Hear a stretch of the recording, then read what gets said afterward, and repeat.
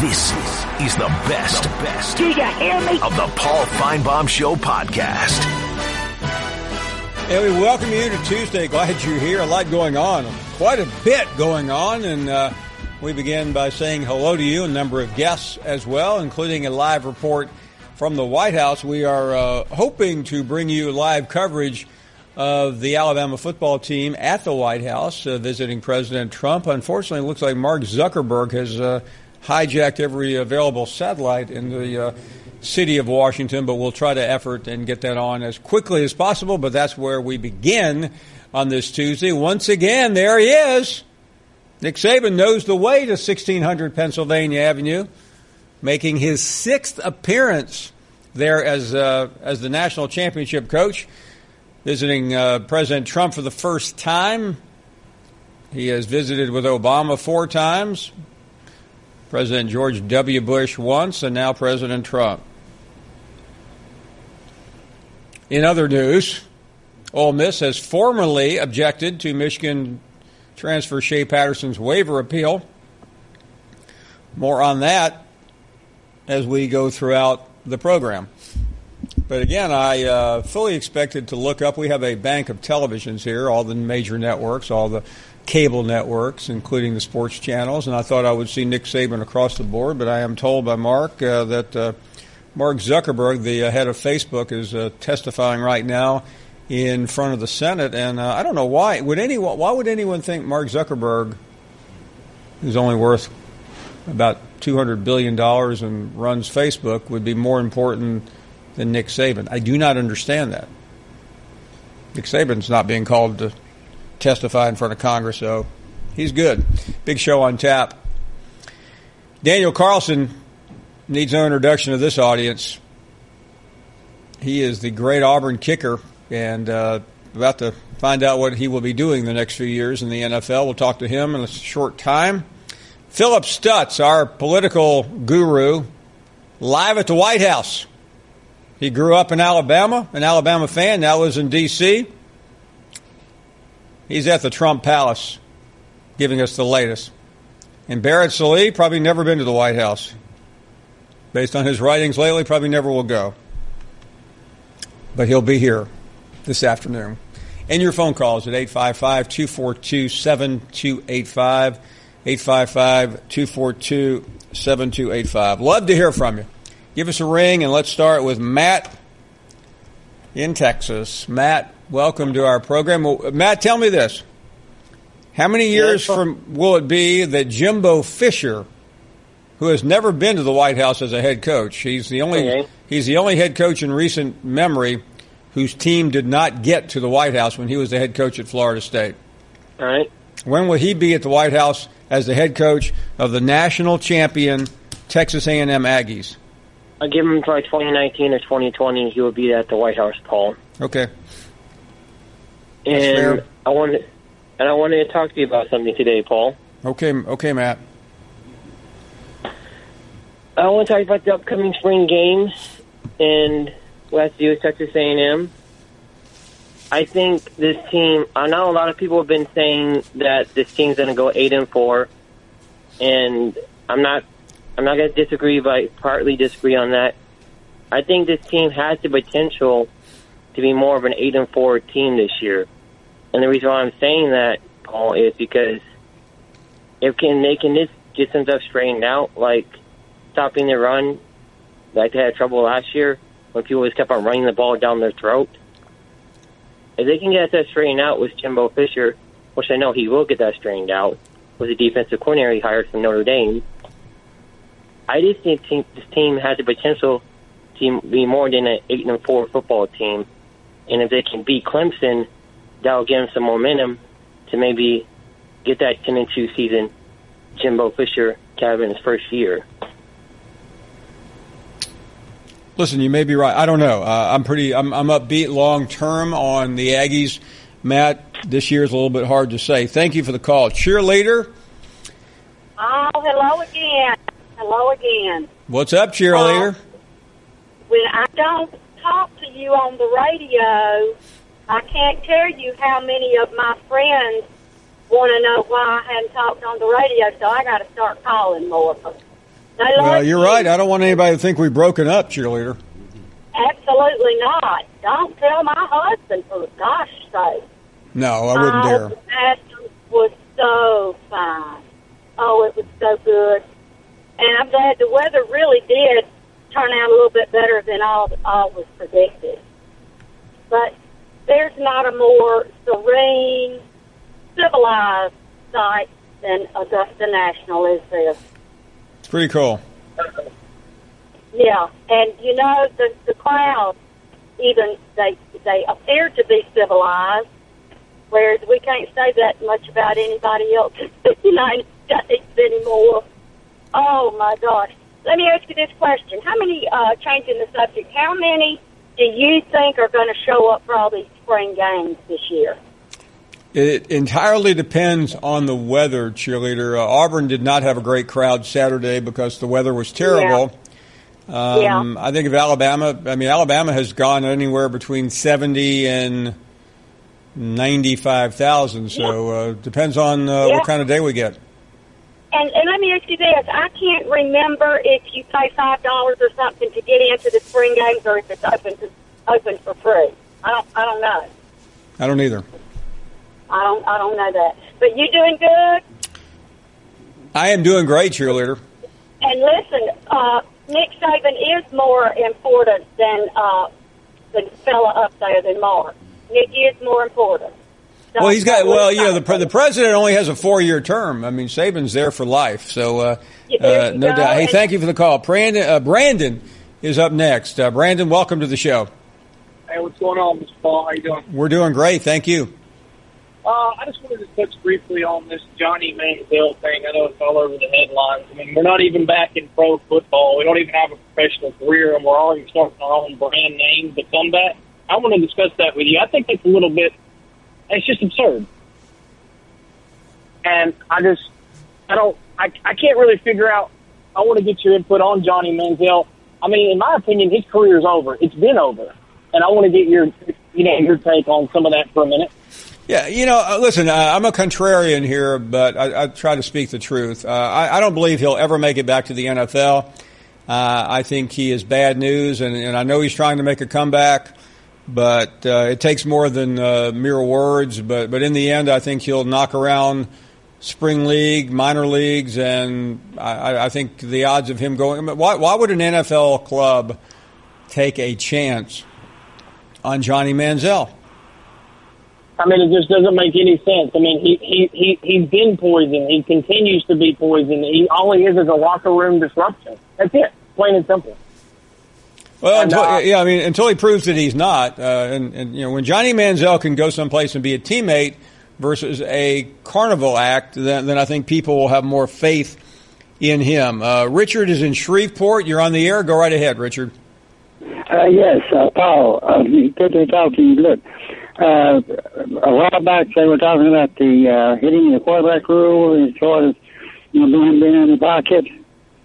Uh, my thoughts are he the, the quarterback should be protected while he is in in the pocket. Once he tucks that ball and gets out of the pocket, he's not a quarterback anymore. He's a, he's a ball carrier. He's a runner, and the the same rules required you know, for the hitting a runner without to hands in. So, I mean, there was a big talk about his protection. When he's a runner, he's a runner. Good point. Hey, listen, thank you very much. Uh, we have a lot to do on the program today, including uh, several visits to the White House. You're listening to the Paul Finebaum Show podcast. We welcome you back. We'll head back to the White House so uh, when the president comes down. And we understand that the president um, having a private meeting with Nick Saban, probably trying to offer Saban chief of staff's job or something. Uh, anyway, uh, welcome back to the program. We'll hit to some calls and then we'll go back to the White House when there is something to see. Johnson, uh, John is John is next in Johnson City, Tennessee. Hey, I have been watching and listening to the show, and I have now decided how to handle Jim from Tuscaloosa. And please help me. Please. What, what do you, You we need need to two- do? You need to push the mute button, or if you video or DVD'd it, you push the fast forward, and the show continues, and you don't have to put up with his crap. That's my suggestion. John, I take it you don't like Jim. Well, I, I, Jim's probably very knowledgeable in that, but you know, he runs that mouth, and it's all about him. It's not about the show and knowledge and stuff. No, I don't care for Jim. Yeah. Uh, but, but you know, again, that's part of what makes a show. But he's ridiculous at times. So I just push the mute button and go on to the next time. I keep watching and taking care of things. Okay. Well, listen, I appreciate the uh, advice. Thank you. Thank you. Bye-bye. You have a good day. And don't mess around. You don't mess around with Jim either. Uh, Joe is up next. Hey, good afternoon, Paul. How y'all doing today? Okay. Well, that was some good information right there because I've never, it's never crossed my mind to just mute it when Jim's on, but that was a, actually a good idea that I'll. I tell you what, Joe. Hold on just just a second. We need to head to the wash, uh, to the White House. I apologize for interrupting, but uh, we have some activity going on at 1600 Pennsylvania Avenue. So let's go right there. The President of the United States, accompanied by Coach Nick Saban,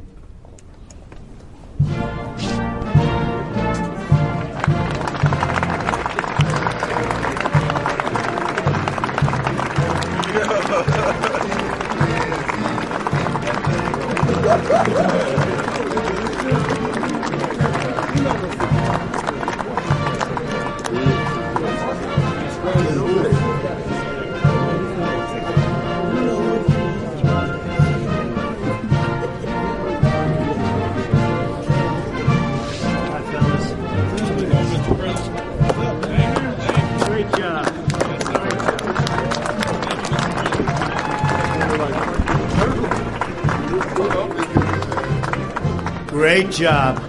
They're big guys back there, huh?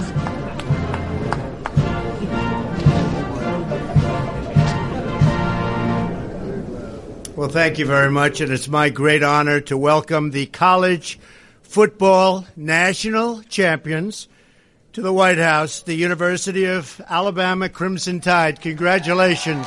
Congratulations.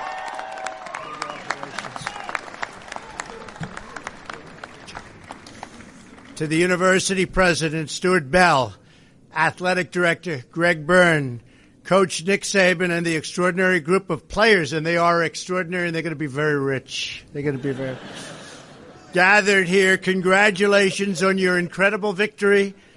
It was truly a win for the ages. I don't know if you know, but I was there.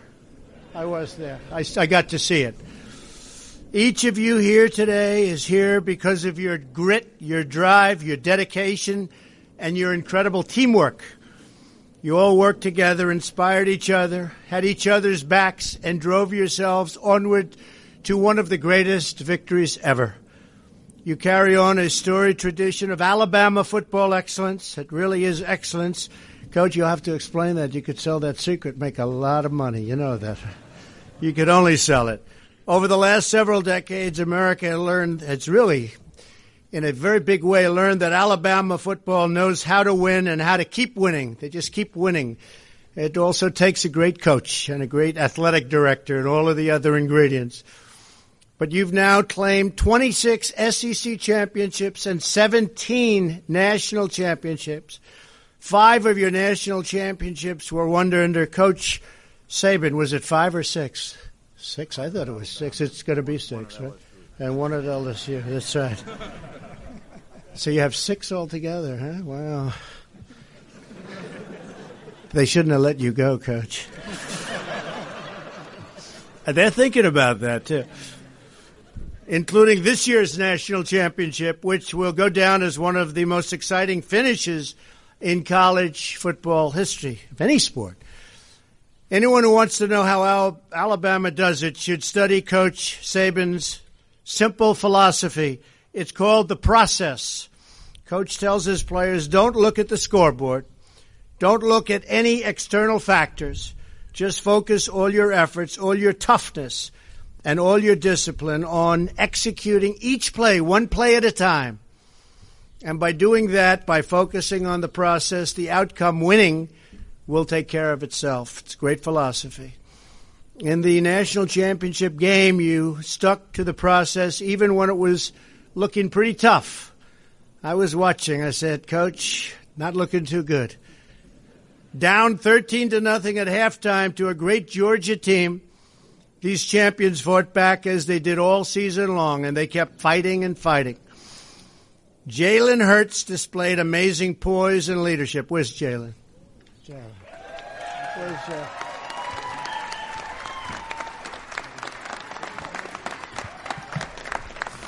great, great job.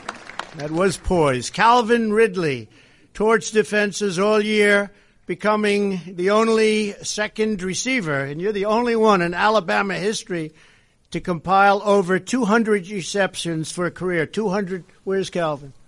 Hey, Calvin. Calvin.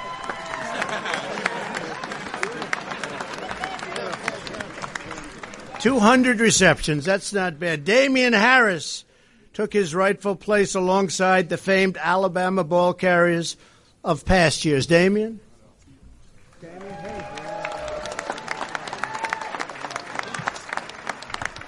Rashaan Evans and Da'Ron Payne. And the rest of the defense beat opposing offenses into submission I've watched a lot of those games, and sometimes, as Coach Saban likes to say, you flat out made them quit. They quit. We're doing that to a lot of people, too.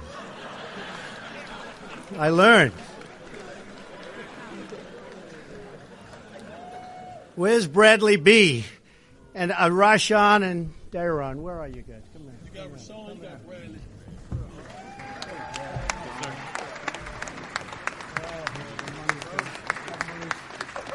That money's going to be pouring in. Look at the size of these guys. So, Bradley, great job. Offensive line kept the tide rolling. Downhill, and Bradley got the win of his lifetime after the big game when his girlfriend agreed to say, Yes, I will marry you. She's still with you? She's still there. That's good. There was one moment when it looked grim for Alabama in the title game. On the first play of overtime, Georgia sacked Tua for a big loss. Where's Tua? Where's Tua? Tua. What are you doing up there? What's he doing up there? But that was the only loss they got you for. But the Crimson Tide never gave in, never even a little bit, and uh, it just worked out. On the very next play, Tua dropped back to pass, launched the ball from near midfield. I was watching, and the entire country watched as arms lifted up, and DeVonta Smith caught that ball for the win. DeVonta. And that was an amazing win. DeVonta, where's DeVonta? What's going on over here? Unbelievable throw and a catch. Every moment of hard work and preparation for Alabama paid off. We're proud of you. We're proud of your teammates. Each member of this incredible football program, you can all be proud of yourselves. We're proud of the way you play. We're proud of the way you represent yourselves, your university, and your state. And that is a great, great state. I know because I won it by 32 points. I actually think more than that, but anyway. You know, with the press, you like to keep it low because they'll always correct you. And we're proud to once again call the University of Alabama our national champions. Thank you and roll tide. It's a, a, great honor of mine to introduce a man I have a lot of respect for. Don't know him, got to know him today in the Oval Office. And you've been here six times, but your first time in the Oval Office. They didn't invite you. The other, pre- they don't invite you. See, Trump invites you. But he is a great coach, and you know he's a great winner. I think more than anything else, he's a great winner. Coach Nick Saban. Thank you. Thank you, Coach.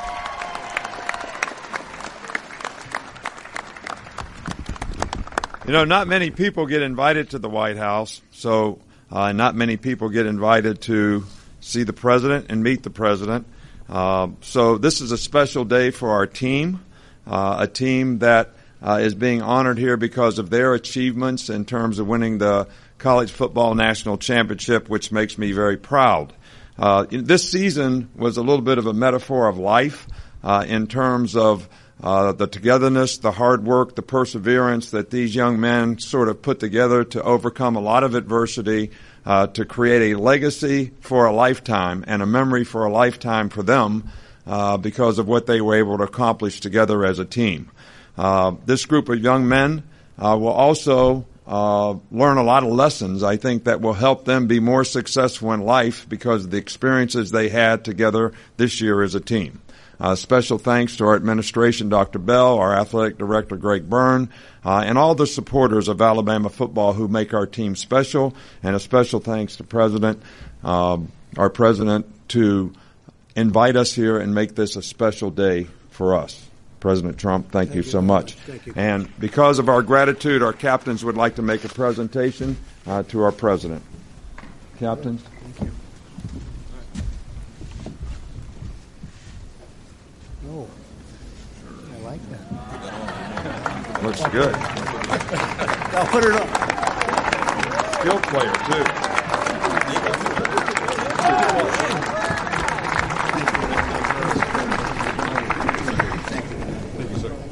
So there you have it. The president being awarded the uh, honorary jersey, and uh, Nick Saban once again making it to the White House. Uh, seems like a tradition that we see not every year, but pretty much every uh, every other year or thereabouts. Uh, we appreciate uh, uh, you being with us uh, for that part of our program. We are going to take a short break. Much more to come. Somebody who had some success against the Crimson Tide this year, Daniel Carlson, the All-American kicker from Auburn. He is hoping to land a spot in the NFL, and we'll talk to Daniel coming up next.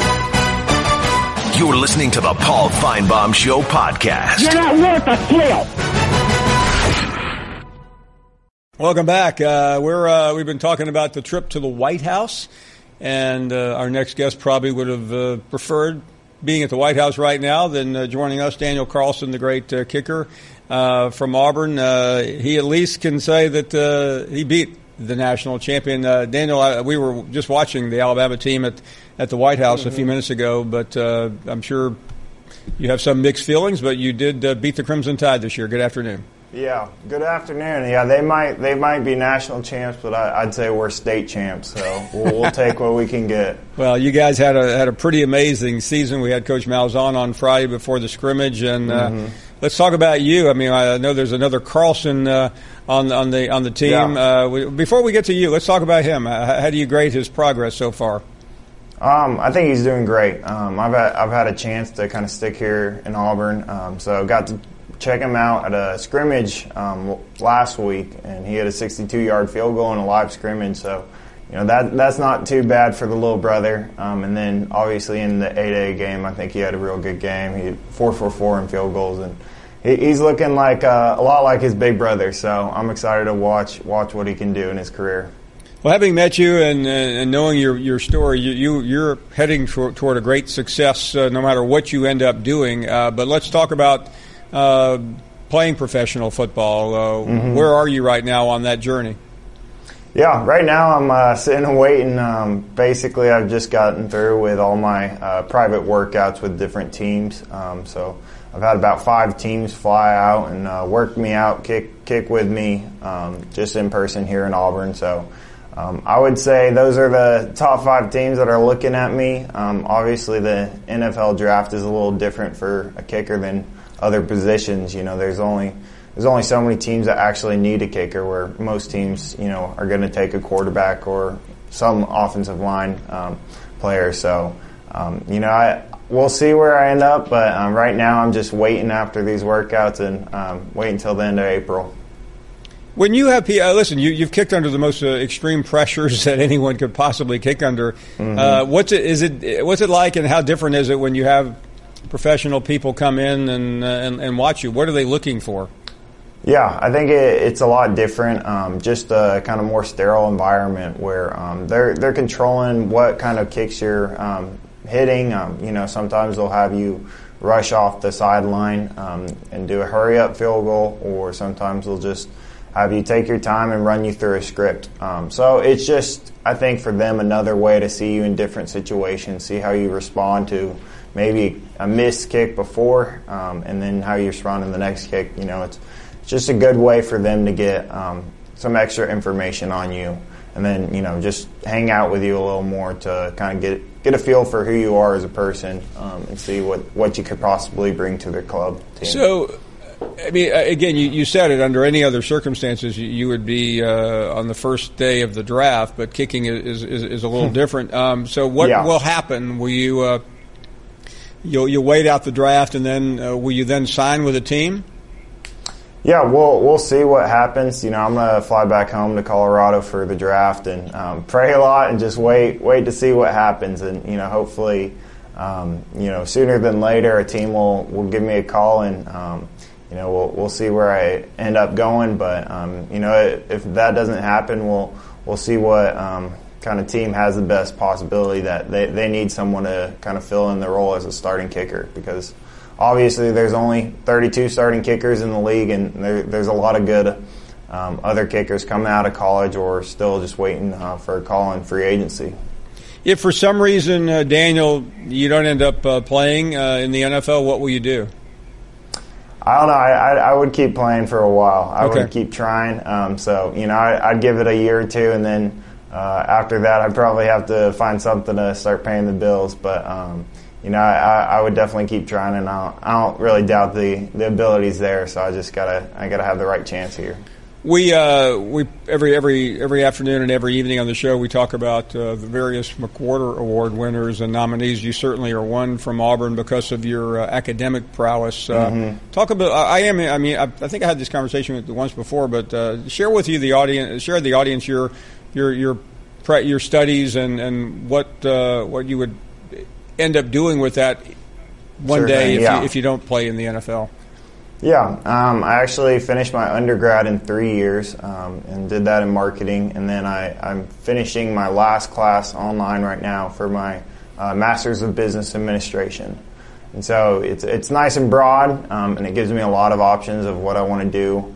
Um, hopefully later, after football ends, um, hopefully years and years of NFL kicking, um, and then I would love to somehow get involved in the community I'm in. Um, you know, all the NFL teams are obviously in big cities, so um, I'm recently married, and she is a social worker, um, and so we could kind of team up is what our idea is, and you know, whether it's start a foundation or uh, come alongside a church foundation, whatever it is, um, kind of used our common interest and um, our faith and help helping others to do something like that.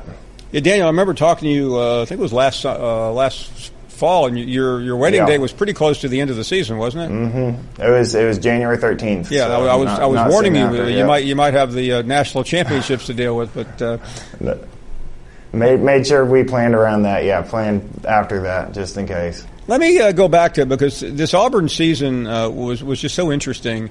The way uh, the Tigers, Yeah. uh, you know, were so dominant uh, and, and had so many significant victories. I mean, how often uh, does anyone ever take part in, in within within a three week period beating the, the top team in the country? What Mhm. was that like? Absolutely.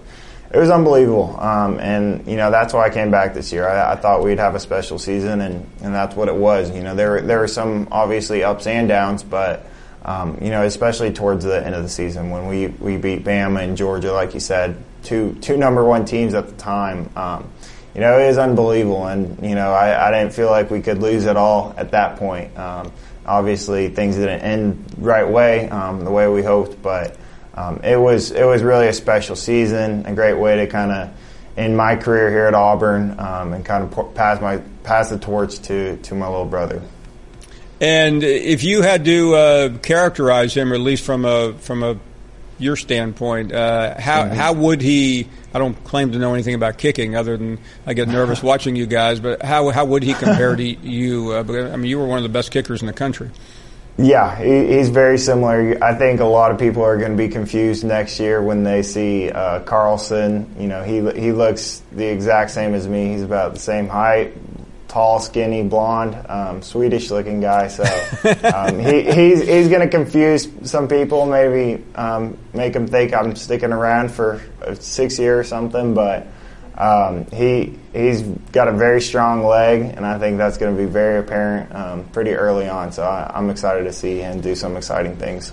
Well, Daniel, congratulations again on uh, getting married and, and, an incredible career. And uh, I really hope you make it because uh, you, are an inspiration to so many people that this really is about uh, uh, being a student athlete, and, and you, you have yeah. personified that. I appreciate that. Thank you very much. Great to see you again. Thank you. Daniel Carlson, uh, who may have, on his way out of town in Auburn uh, upset a few people with his comment. They may be the national champions, but we're the state champions. And uh, truer words, uh, that's exactly right. Auburn did beat Alabama this year, although uh, nobody at the White House, the, as we speak, probably is overly concerned about that. More to come on the program. Your phone calls at 855 242 7285. We'll uh, have a live report from the White House a little bit later in the show from Phillip Stutts on what it was like being there, watching it all. We had it right here for you as well. You're listening to the Paul Finebaum Show podcast. Daryl is up next. You know, one thing for sure, okay, on this show, you can bet on. If you want to hear a college football team live at the White House regarding the national championship, there's only one requirement, and that is Alabama winning it, right? Would you agree with that? Uh, you know, Daryl, I bet uh, we would have been more than happy to cover Georgia's trip to the net, to the White House today. Paul, whatever, whatever, Paul. Who else have you, ever covered at the White House besides Alabama? Uh, and you know, Daryl, we would have covered. You know, I'm, I'm, sure someone covered Georgia's last well, trip to the White House. Have you covered at the White with, House uh, Jimmy Alabama? Carter as president you answer, or somebody. Okay, then let's move on to my next question. Okay, I, I would agree. Alabama sets the bar in college football. Would you agree with that? What's that, Daryl? I couldn't. Alabama I sets the bar in college football. I mean, they're, they're the greatest, right? They are, which I can only assume with them being the greatest that it's much tougher to win an SEC title than the national. Hey, by the way, Daryl, don't don't, don't don't be upset. Daryl, slow down. Daryl, slow down. No, nobody wants to hear a hyena talk. If okay? twenty people have an opinion of something, it's obvious. Seriously, you need to shut your mouth. No, no I, I, don't need to I shut my mouth. I have a question for you. Uh, why do you feel the need? Why do you why do you feel the need to talk over people? Because I wanted to say something I thought was it's relevant. Very, well, you you you go you get your turn. Da- it's very rude. Danny, it's very uh, annoying, and it happens. It happens quite often, Paul. Daryl, the mean did, callers. Did, did, did, I know this, your mother a, raised uh, you better than that. I know this, your mother raised you much better than that. program of democracy? When did that start? I mean, you just, I don't understand why you feel the need, you have to talk over me. There's stuff I wanted to say yesterday. I never got a chance to say because you kept talking over me. You wouldn't shut up. You told me our man wouldn't shut up. You wouldn't shut up. You kept going on and on and on. And on. I want to point out yesterday how that kid, when he got kicked out of Georgia, he went to Augusta State and led them to a national title, co-anchored it, which would be the equivalent of what? Maybe a West Georgia or Georgia Southern winning the national championship in college football, Division One A. And then when they built a trophy case, they didn't have a trophy case. He told them, you know what, you built it too small. You should have built it for because we're going to win again next year. And he went back the next year and won another one. I want to point that out yesterday because I thought that was just an unbelievable feat that the, for a school like that to win a national championship. And they beat Georgia Descendants also, which is probably why a lot of Georgia fans have heartburns with that guy, for Patrick Reed. But yeah, I never got to point any of that out because you wouldn't shut up. So my question is, once again, you still haven't answered it. Why do you feel the need to want to talk over people? Oh, now you can't hear me, huh? I know them ears, them ears you got can hear anything, okay? I know you hear what I say. So it's your turn to speak. Go ahead. I know your mama taught you better than that. Your mama told you everything you know, okay? There's no doubt in my mind about that. There's one thing that she didn't tell you, though, Paul. She didn't tell you that I was your daddy to you, Paul.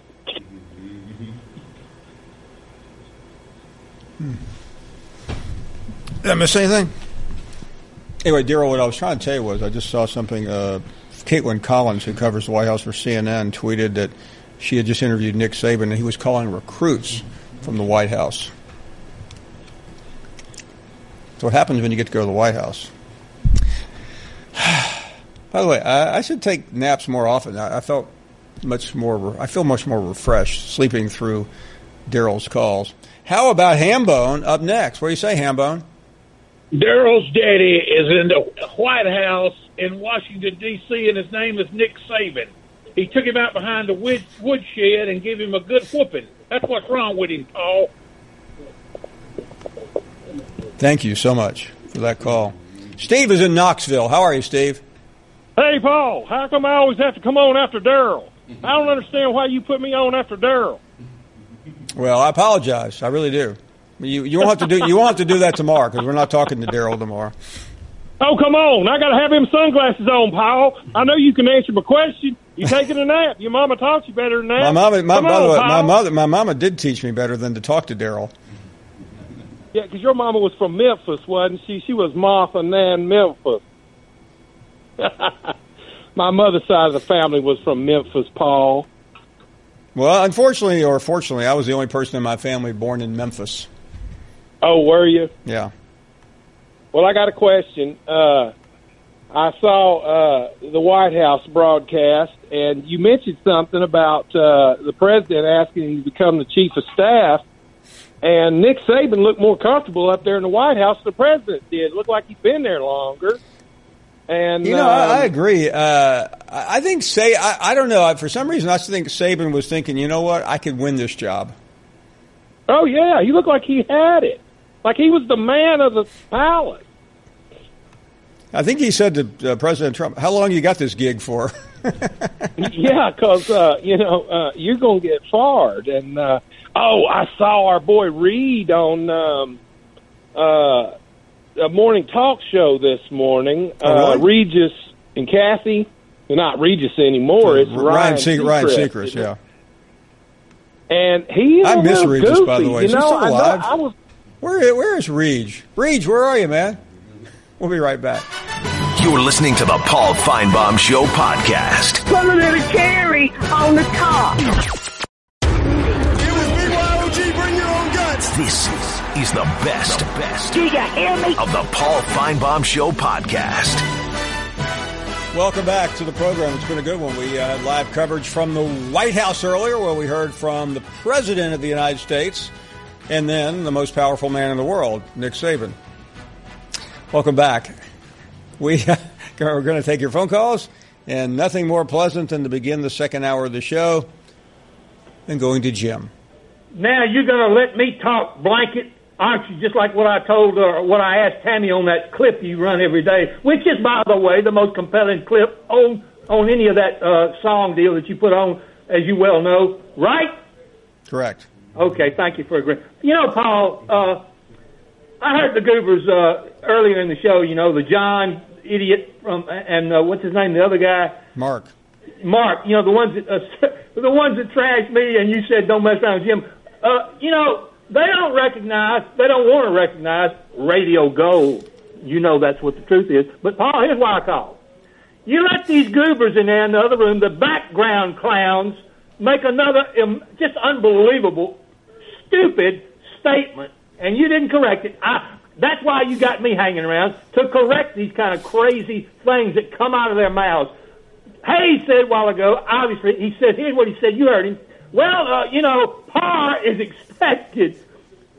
Expected only by Tiger Woods and that kind of player and me. That's what it's, that's what Jim, par is Jim, Jim, Jim. Par is expected by every golfer on the PGA Tour. Like that is what is expected of them. You can't be on the PGA Tour without Oh, will shooting you, will you let this guy below. stand down? And, he's interrupting my call. Stand down, Jim. I'll stand down. Just want to make myself clear.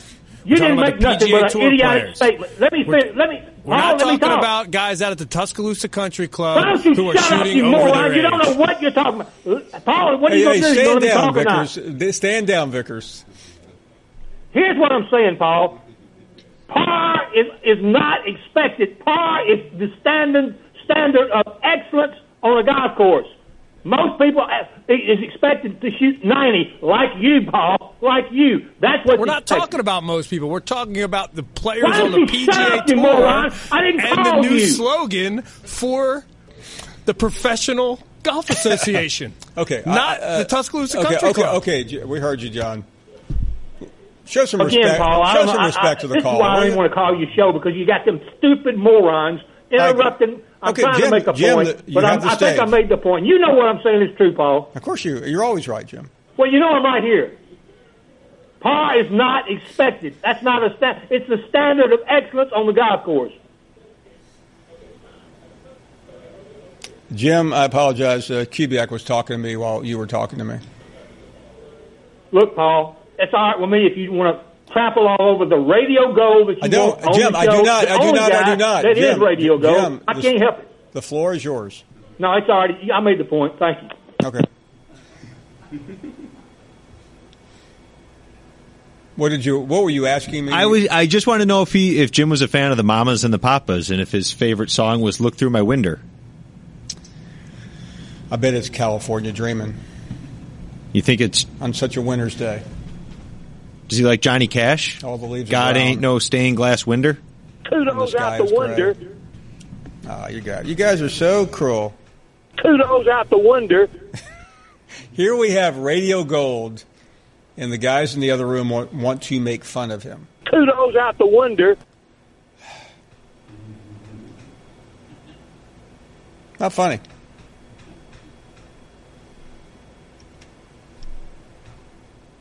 Well, it's obvious he's not right here right now. He's right out of here. You're out of here. You know, and he says Winder just like me. He, see, I love it when Jim quotes me. He's riding my coattails. He always has. Now, Paul, let me ask you about this this spiritually sick comment he made about me. He said I was spiritually sick.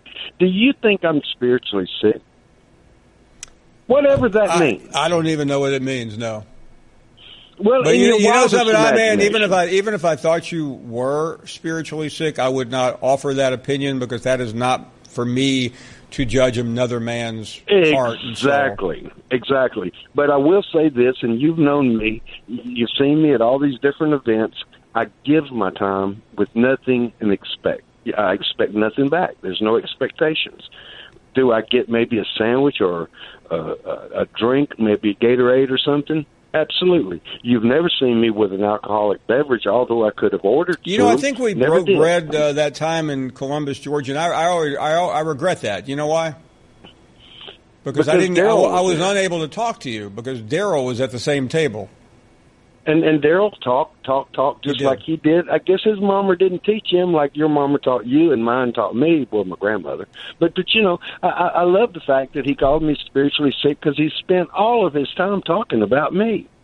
And then, of course, he shifts over to Squirrel, and he spends the rest of the time talking about Squirrel. So it's obvious that I'm in and Squirrel are knee deep in this guy's head because he can't get past it. Because you know why? Because he's right out of here.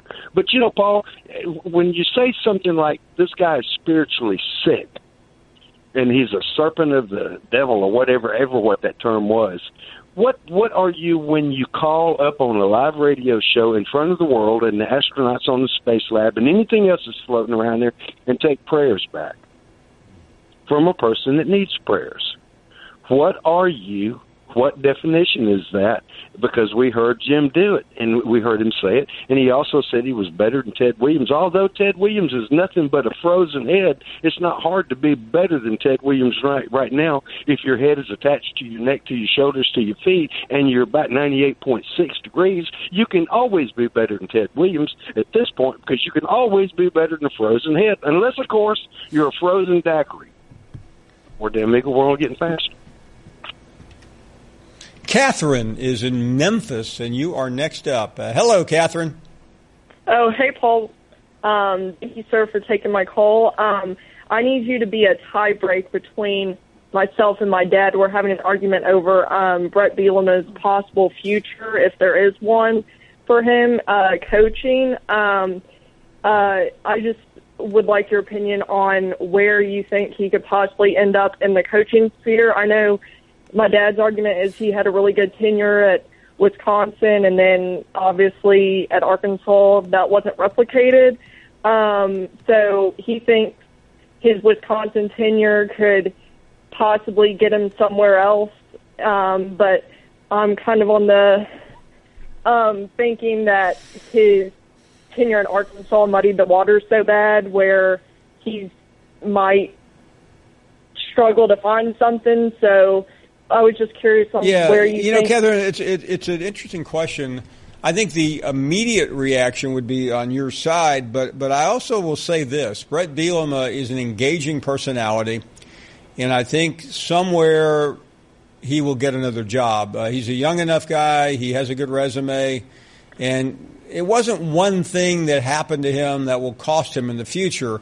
Uh, it's not like there's any scandal in his background. Uh, he, he has a he has a great family. Uh, just had a child. So I mean, I think it, I think depending on where, I, I, I think probably Midwest, somewhere uh, out of the South, where I don't think he'll find work again. But I, I do think Bret uh, will probably go into broadcasting. Uh, maybe rehabilitate himself a little bit, and, and, and I suspect he'll have another head coaching job. Uh, do you think the NFL is a possibility for him as a coordinator or Uh, anything? Yeah, but but I I think he's a college coach. Yeah, yeah. Okay. Thank you so much, Paul. Thank you very much, Catherine. Uh, good to hear from you. Rob in Missouri, you're on the air. Go right ahead. Hey, Paul. Uh, you know, I just heard that spiritually sick thing. I'm currently a student. I'm going to bring that to my philosophy professor, see if he can go crazy with it. I don't know what that meant. But anyway, I just heard about that Shea Patterson story, and I, I think it's kind of sick that this school would kind of, that Ole Miss would run interference on a kid that's just trying to get his value up right away. And, you know, it's just a problem that I think, I don't know if the NCAA has to make a rule change on it, that these sort of old schools can kind of run interference on these kids who are just trying to play ball and try to make some money for themselves. But I don't know. I was wondering what you thought about it, what you thought of the situation. And Ole Miss was just, you know, playing within the rules, so they were it's kind of fair game, or something along those lines. Yeah, Listen, uh, you, you have to have some protections. Uh, I do understand that. I understand Ole Miss's side of the story. I think they're just doing this because if they don't do it, the floodgates will open, and I think they're trying to protect the integrity of the university. Right, right. I, I you know, I understand that, but I mean, but, but uh, with- let me let me say that's what I think they're doing. On the other hand, I'm for young people being able to go and do whatever they want. Uh, Right, right. You know, if, if a coach This leaves, uh, in, uh, yeah, I mean, I don't like I don't like universities, regardless of where it is or, or why it is, to be to be uh, to me. Uh, if coaches can leave, so can players. But I understand why the universities have to do this, though.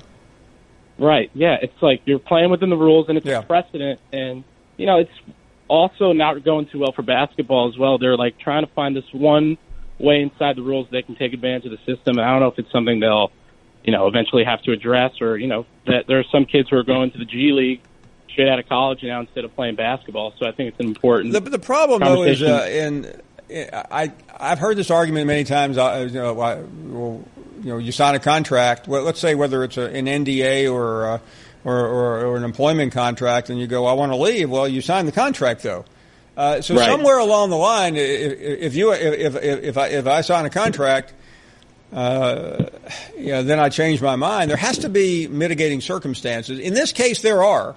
Uh, Sh- uh, Shea Patterson is not this, the school. The dynamics of the school have changed. Uh, Right. they're, they're in trouble. Uh, they're, uh, they're they're they're they're very likely not going to a bowl game this year if the appeal is not uh, granted. So he's claiming a different coach. It's an argument. Uh, both sides have a legitimate uh, argument. It's just to determine, Mhm. you know, if more than likely, though, uh, you know, which argument wins, and and that's where this will Mhm. be dis- determined. But if Ole Miss doesn't try to protect their university, then players will just start bailing out left and right. Well, yeah, especially that school. I mean, they've just sort of been getting the short end of it for the last couple of years. And they're, and they're But now. I- I, mean, I don't think. It, I, I listen. I don't think Shea Patterson's coming back to Ole Miss. Do you? I, I don't think so. No. Not after uh, it didn't really look like they had his back. I don't think he would come back after that. And uh, I don't know. I mean, they're sort of rebuilding, and if he kind of wants to establish himself, then And by the way, they, they've already like settled on a new quarterback too. Yeah, yeah, they're moving on. But that's the thing with the SEC. New quarterbacks coming every day. Like you thought that Jacob Eason had a job until they a, a completely new kid took him to the national championship. So you never really know. And they're just there's a hot new kid coming up every single day. And Georgia already signed a new QB already. Well done. Hey, thank you for the call. Appreciate it. Uh, 855-242-7285. Matt is up next. Matt, what do you got? Matt, Hey, Paul, how are you? We are Hey, doing Paul. well. I was calling in defense of Jim. I've, you know, the other day when you were talking to Squirrel, Squirrel's been attacking me on Twitter. He's called me every expletive in the book. You know, I don't agree with everything Jim says, but Jim brings an element to your show where you listen.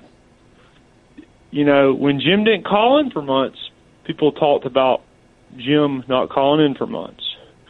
You know, Squirrel just calls up here and he just attacks everybody and and, and, and you know he attacks me. He says I'm the village idiot. I hate to break the Squirrel. He ought to come to Georgia. I'll show him village idiot. You know, he can come up to SEC Media Days, but um, you know, he he, you know, if you've got a criti, you know, I may criticize Alabama fans, the stereotypical Alabama fan, but it's purely meant as a joke. But Squirrel, I mean, I've gotten tweets all day while at work how I'm the village idiot, how I'm a moron, blah blah blah, and how. So, so, so Matt, you are showing solidarity with Jim, correct? I'm not saying I support Jim. I'm saying that Jim brings an element. You need So you, you like feel Jim like you, you and you up. and Jim are something unique on this show. Is that fair? we get we get things going when when when So Jim you are now you are now in the uh, in in the in the pantheon of Jim from Tuscaloosa, correct? I'm not saying I'm as crazy as Jim. That one that the doctor who called in two weeks ago sounded like Paul Bearer, but um. Well, listen, he- you're you're either you're either uh, you need to understand something, Matt. I'm with Jim. You're either with Jim or I you're against Jim. I There's no in between. him. You, you can't I be halfway. him. I support okay. him because Jim, he's like you know, Tiger Woods. Golf needs Tiger Woods. Okay, And, When this, Tiger and was you're, you're suggesting this show needs Jim. Is that fair? I'm not saying this show would What are what are you saying, air. Matt? I mean, which side of the I'm mouth are you saying going the to talk show's out? better off with Jim. I'm showing the show does better with Jim. And do you think the show is better off with you? Oh heck yeah, because I present another dog fan. You know, And what do you, I and what do you think of Daryl? I think Daryl's a knowledgeable dog fan. I just think he gets going too fast. But I think he, I think he presents some interesting facts. Okay. I will say this though, I was just glad to be at the national championship game last year. Alabama beat us, Okay. but I was gl- I was glad to be there. You You, know, Doc- we hadn't been there in a hundred years. Yeah, no, it was only You know- 30, uh, 30, 30, 38. So it did it suck to lose? Yes, it sucked to lose. I walked out of Atlanta Falcons Stadium. I walked out of the Rose Bowl. You know, you you know, I mean, two years ago, your alma mater. I mean, that was a heartbreaker. I was in my se- uh, my my regular seats when they threw that hail mary. Okay, listen, the rushing me And, along, uh, Matt. Thanks for the call, Jim. I'm sure appreciate your half support. We will uh, head back to Washington D.C. shortly to get a uh, inside the ropes view of what happened at the White House today with the president and Nick Saban. More to come. You're listening to the Paul Finebaum Show podcast. Glad you're here. Uh, appreciate the calls. Let's uh, talk to Drew in Jersey. How are you, Drew? Great. How are you, Paul? It's We are- been the third time I've been on the show. So today, you know, uh, we haven't called for a while. You know, it's been a long time, and a lot has gone on in the last few weeks. Well, glad to have you back, Drew. Well, there's a lot of great news. Um, so what's up with the? So how how did Michigan how did Michigan defeat Loyola Chicago? Like I found that surprising. Yeah, I mean, I just think they finally wore them down. Uh, I mean, Michigan, uh, I can't remember if that's the game they hit all the threes or not. I mean, the tournament seems like a, a blur to me, but I, but I think that's what happened.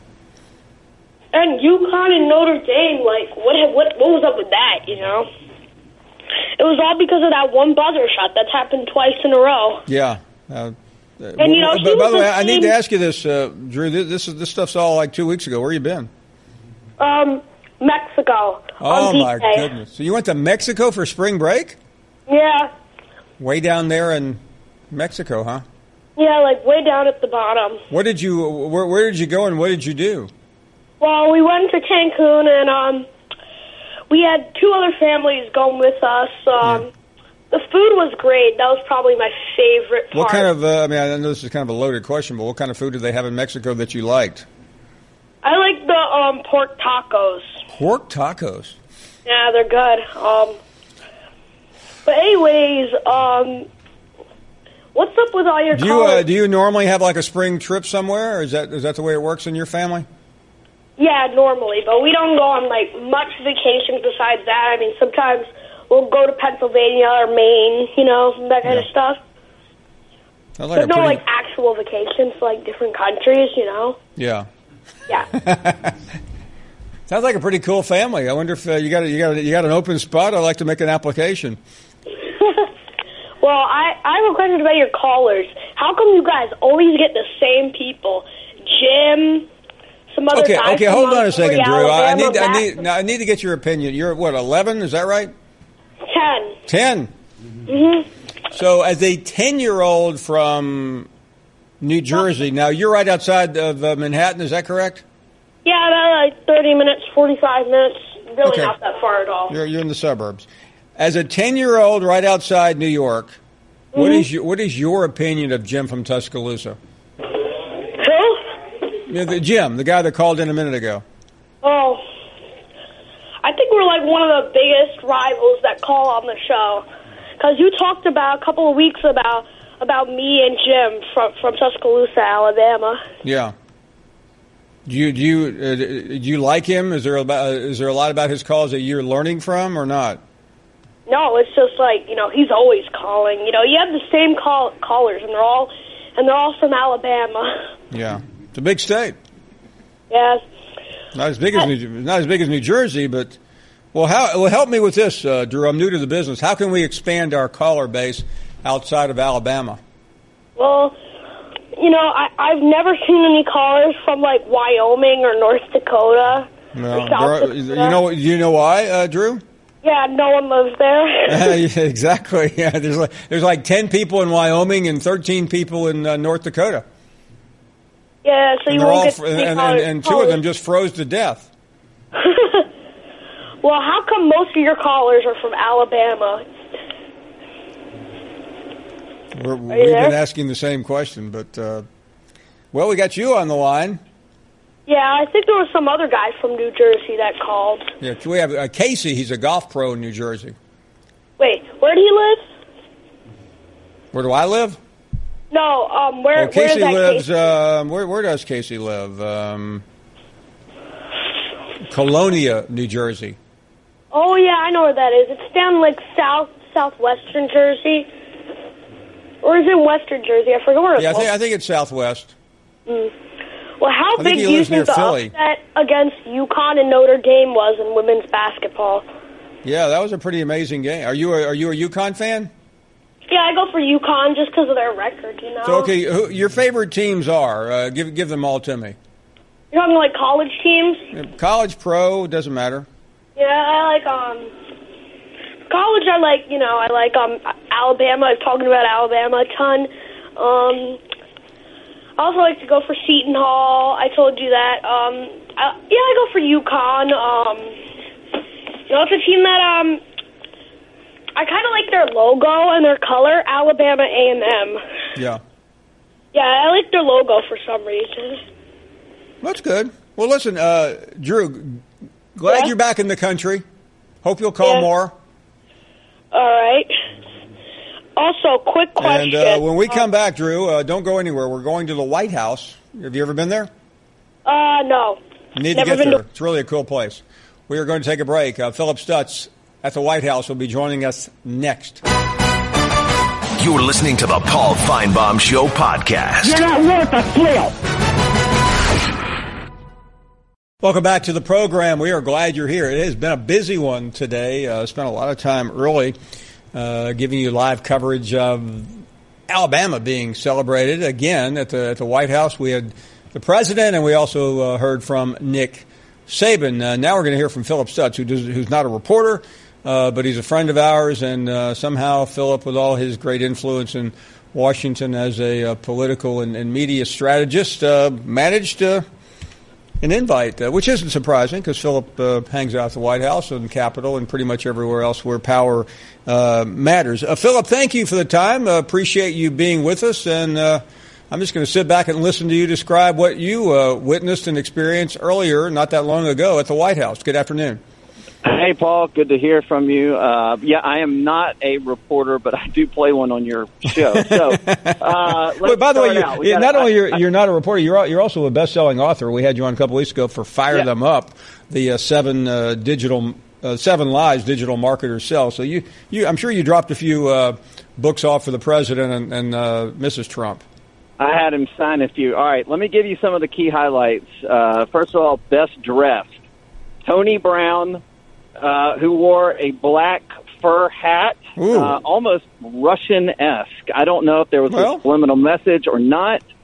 Uh, I had a uh, a good conversation with Senator Doug Jones, who told me to tell you hello. Hey, by the way, uh, last- one of Yep. the last times that uh, Alabama was at the White House, Senator Jones actually was our correspondent. He, he may have told you that.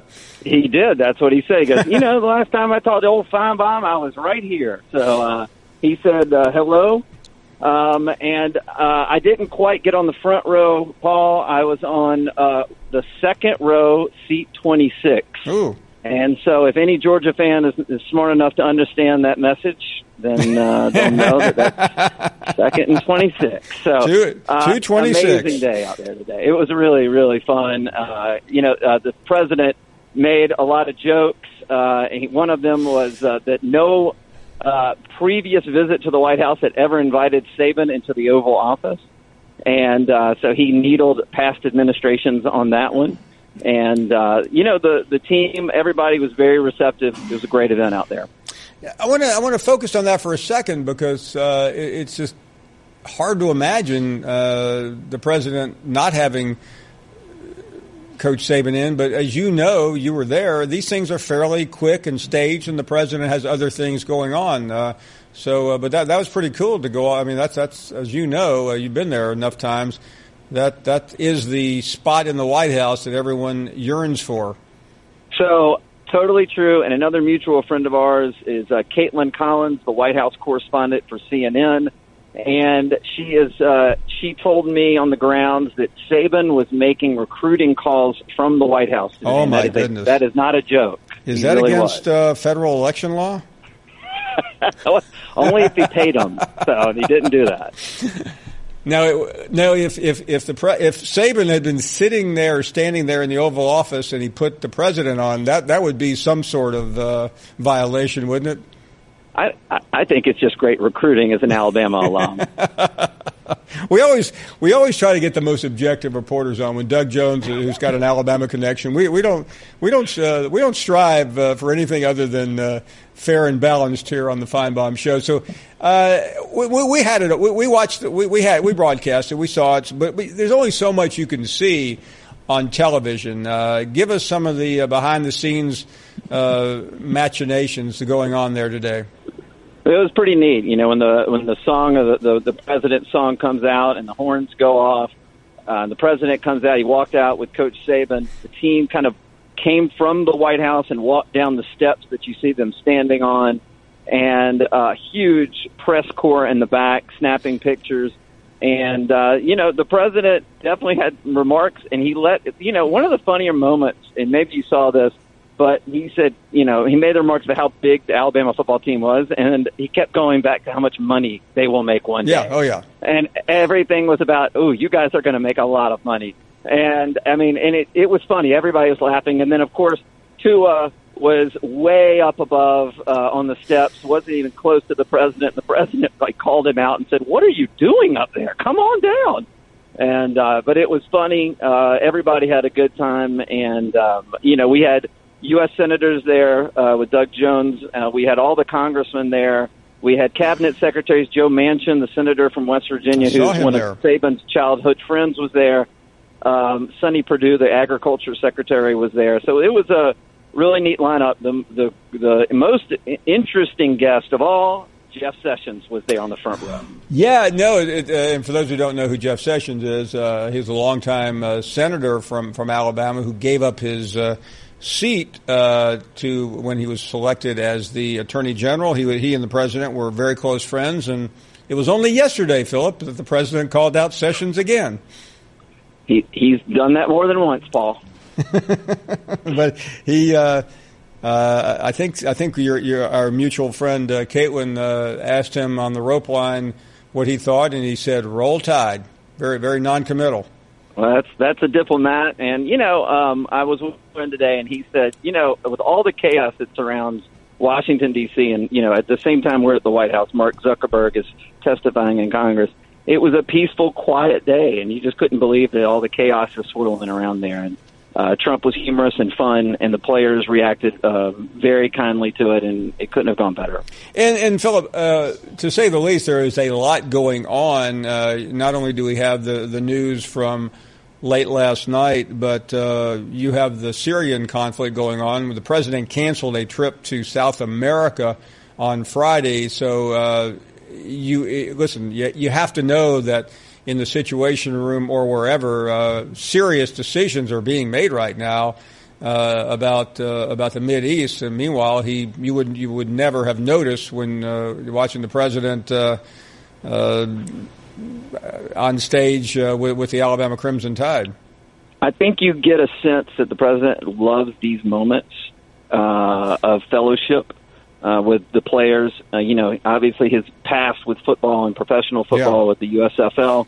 Uh, you could really get a sense that this was a moment where he could like relax, and he took pictures for at least 20 minutes after the event. Uh, the literally the Secret Service was finally like, "Sir, you've got to go." But he was having a blast out there. Uh, it was it was uh, you could see how happy he it was. Looks like a it. pretty nice day for Washington this time of the year. It was 55 and sunny. The most beautiful time of year to ever be in Washington D.C. is in the spring, and uh, the cherry blossoms were out, and it was a great day. Phillip Stutts uh, covering uh, the Alabama Crimson Tide uh, for us uh, at the, the White House. 20 minutes. I mean, Philip, uh, if I remember, la- not last year, the year before, uh, we had coverage of it. President Obama, this was now his fourth time with Alabama. I mean, he, he was in and out pretty quickly. It looked like, you know what, I've done this four times with you guys. I really don't have anything else to say. but spending 20 minutes taking pictures is extraordinary, isn't it? It was crazy, and yeah, there were a lot of fans there too, Paul. Um, and the the fan, the only complaint I heard the fans was they had to travel to another neutral site to see Alabama. but but but overall, uh, the president was was literally taking pictures tell with me every Tell me single this now. Again, the president reminded the Crimson Tide he was at the game, which uh, we all Yeah. remember. He did it about three times actually. Yeah. Yeah. well, Yeah. again, uh, no reason. Uh, he, he he did fail to mention that he left while Alabama was down thirteen nothing. But that's but but why, why bother correcting the facts in Washington? But but but Philip, I have to ask you this because uh, you know the White House is not an easy place to uh, snare uh, an invitation to, and forget you because you're a mover and shaker and uh, among the uh, the most influential uh, people in that city in what you do. But how, how does a normal? How do you get invited to something like this? Sure. First of all, your condescension I can feel through the phone right now, and second, second of all, uh, you know it's it's a lot of the uh, Alabama congressional offices and their Okay. staffs. It's um, you know probably a lot of uh, lobbyists with connections, um, and you know it's uh, uh, there was a lot of Alabama. You would you'd be surprised at how much you know staff or people from the university were there. I saw um, the board of trustees, and they had their families there. Um, and and so and I saw Edgar Welden there, and so you know an Alabama alum. Oh, very prominent so, person, You know, sure. just a bunch- a bunch of people call and uh, come up and uh, fly up and spend time. It's an o- incredible opportunity, um, no matter what the team is, for the president to honor their sports team and to have the opportunity to go up and spend the day at the White House is is unlike anything you'll ever have the opportunity to do, and people take advantage of that if they can. Well, we appreciate it. Uh, I, I, you know, I, I have to tell you, Philip, uh, and and you know, we've had uh, Senator Jones on this program many times, but I am going to give you a higher mark for uh, reporting than Doug Jones. Uh, now, at the time, he was just a former U.S. attorney. Uh, he had not been elected to the Senate, but but but you, you and I don't know what uh, Mark and John think, but I think Philip has pretty much won this job. Well, you know what? Uh, we're going to have to do some media training for him if uh, if if I'm ahead of him. So we'll we'll go to work on that immediately. I mean, he was kind of out of breath and a little too partisan. I mean, you've you've, you've given us behind the scenes uh, minutia that I would expect from a seasoned veteran. So, uh, well done, Philip. I just want to know what recruits he was calling. That's all I care about. What, who is Nick Saban calling from the West Wing of the White House? Um, probably someone from a red state. That would be my guess. Hey, Trump made a good point. He did win Alabama by 32 points. He sure did. He said, didn't he say like I think it was really more, but you know they took some away from me. Yeah, well, I, I think he knows that he doesn't get specific facts exactly right sometimes, and he thought that the press would jump all over him for it too. Well, great stuff, Philip. Uh, we hopefully will see you very soon, Philip, who, uh, whose book Fire Them Now. We had him on. Uh, by the way, it seems like that book's done quite well. Uh, it has, and uh, we're we're rolling into the second part of this wave uh, in the next few weeks. I'm going to be going to New York next week for another press blitz. But the book has been great. Feedback's been great. Thank you for having me on. Phillip Stutts, White House correspondent for the Finebaum Network. We appreciate it. Uh, great to have that. That was fun. That was really cool. Uh, and I know uh, this happens once a year, so why not blow it out? We are going to take a break. More of your phone calls at 855 242 7285. You're listening to the Paul Finebaum Show podcast. Welcome back. Uh, glad you're here. So happy to have everybody on this uh, Tuesday afternoon. Let's uh, go to John next up in Wyoming. Hello, John. Thank you. Good afternoon. Hello, Paul. Hey, it's my pleasure to call you from the state of Wyoming. I actually live in Montana, but I'm driving across Wyoming right now. I have uh, family down here, and I've previously lived in Wyoming. I want to tell you and Drew that uh, you have fans here in Wyoming, Montana, North Dakota. I've lived there previously. And uh, Paul, I listen to you frequently. I know you don't get a lot of callers from this country, but uh, you do a fantastic job, and I really appreciate. Well, we're glad to hear that. No, uh, that that uh, that warms my heart. Uh, and I, we were joking about uh, that part of the country. It's a beautiful part of the country, but uh, as you, and, and one reason people like it so much, there aren't that many people.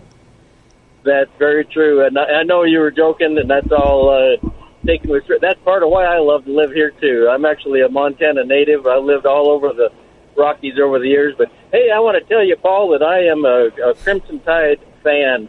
My uh, folks, my mother and father, both went to the University of Alabama in the 1940s, right after the war. Oh my goodness! My dad was in in World War II, and right after then, they went to the University of Alabama.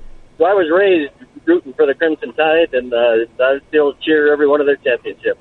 Well, that is that, that is wonderful, John. Thank you. Uh, really appreciate you your Great. call. Thank, thank you for what you do. Keep up the good work. Thank you so much. Great to hear from you. Yes.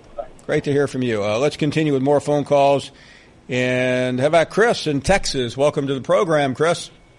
Yeah, hi, Paul. This first time caller. Glad to talk to you. Thank you. Um, just to give you a preamble here, I'm, I'm a Texas A&M fan, and I just happen I, I watch, I follow baseball, softball, I just happened to catch the Florida Alabama, the last, I guess, the rubber match, and um, typically, you know, mo- most games I, I don't really see too many fans complain about balls and strikes. So when I was watching the game, every time the pitcher for Florida would come up, probably maybe two thirds of the Alabama fans would c- complain about every single strike, to the point where you got Bubba's come down from the top and almost cursing the, the umpire behind the plate. Oh, wow. And that, that that's just that was just my ob- This was the game. you Uh, was this, this is the game last night. Is that what the one you're talking about? Yeah, exactly. It was a rubber match. Yeah. It was a rubber game. And then every time, you know, when when the when the Alabama pitcher would throw, you know, throw a ball, they complained just as bad.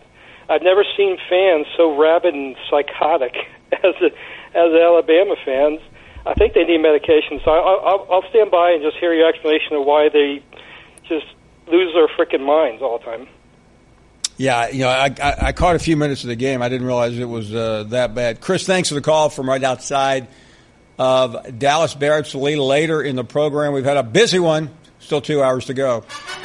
You're listening to the Paul Finebaum Show podcast. Put a little cherry on the top. This is the best, best Do you hear me? of the Paul Finebaum Show podcast. We welcome you back. First half dealt primarily with the White House, which is where Nick Saban was today, calling recruits right outside the Oval Office in the West Wing. We had live coverage for you. You also had we also had Phillip Stutts uh, on uh, as well, Daniel Carlson as well. Got a few people fired up by saying that Auburn won the state championship this year. Alabama may have had the national, but we're the state champions. Uh, a couple of headlines to share with you before we get to the second half of the program. And uh, junior forward DJ Hogg declares for the draft. Outstanding player helped the A and M team to the Sweet 16.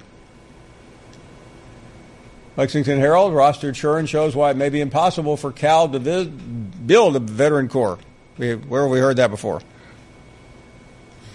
Let's uh, get back to the calls. And uh, we just had Phillip Stutts on. I thought Philip was outstanding on the program. Apparently, uh, you don't agree, right, Jim? I didn't say that. You there you go, putting words in my mouth. What gets me is what you did. You replaced me. Who led you through the war war zone of uh, all the year that Trump was trying to get elected? Who was your consultant then, Paul? You, and Jim, were the first person I ever talked to that said they were uh, they were And supporting you gave Donald me the uh, Trump. what was the position you gave me? Uh, you were the White House correspondent. Okay, why am I been replaced by bland, vanilla, little Philly? Why, Paul? Um, Uh, okay, uh, your Jim. Actually, you're you're, you're get, the, get off the floor. Who, who's better than the radio goal of, of your show doing this kind of job rather than Philly, whatever his name Well, is? first of all, Philly. we, we, we have now re, we, we, you're, you're back to being the political correspondent. Well, I mean, really, Paul. I mean, you got you said the most compelling guy you have. Jim, what do you have against? Phillip Stutts? Oh, he's he's more compelling than me. Jim, I just asked you what you had against him. I got nothing except he's a except he's a leftist liberal. That's all I've got He's against. a, Jim. He's not a leftist liberal. well, Doug Jones is, and and he's a buddy of, Doug. No, no, no, Jim. First of all, Doug Jones is a Democrat. Um, That's a liberal, Paul. Okay, I'm not going to argue. Um, Phillip Stutts is a Republican, I think. Well, he doesn't act All like he did, Jim, was say he ran into Senator Jones and said hello to him. Is there anything wrong with that? It's, I don't, whatever you say, Paul. I'm just saying. Thank I would you say for hello my, to him, too. I would say, you for I- me friends with, uh, back the other senator, too. I- back because you know where the radio gold comes from, and I, I think that's a wise decision. Otherwise, you know what I've been thinking about you. What? I think you've been. I, I've been thinking it's like you've been mad at your show by the way you've acted lately. I mean, seriously, Paul, you're not helping your show by doing some of these things. Jim, I need to hear more about this. All right, we'll uh, have that closed door meeting. Right, we're gonna have right. Jim, I, uh, Jim, I need to talk to you soon. Things are happening. Get with me and my people. I, We'll mean, I can't, you. uh, Jim. I can't wait till like four months to get an can't. You really to- can't. I'm glad you're wake, waking up to that. No, I mean uh, time is of the essence. Yeah, everything's going out. The window, window, window, And I window, window. Help me, Paul. Window, window, What is it, Mark? Winder. Winder. Yeah, help me with. And let me be as app- let me be as sharp as those two clowns in the background. I want to be. I, I yearn to be that Jim, sharp, Paul. You don't need to name call them. I mean, they're just two No, guys. they don't trying, name call me, do they? But Jim, you're a star. They're just two. I know, Two and they got no chance of being that because they don't have the capability, they don't have the ability, and they don't have the gravitas. See you, Paul. No, they don't. Mark and John, uh, you obviously have been told your place. I would have been a Hall of Famer, Paul. But didn't put my hand through the winder. That was a mic drop, in case anybody was wondering. Uh, let's continue. How about Paul in Indiana? Let's get back home in Indiana right now. How are you, Paul? I'm doing pretty good. How about yourself? Excellent, thank you. Well, uh, I think uh, Jim and uh, Daniel earlier in the uh, show made uh, quite asses of themselves, and I think that uh, well, Jim did a better job. You do. So I, I, I think they uh, pretty much uh, were just uh, asses. Who, who was who was that again? Now you talking about the two guys that we just talked to?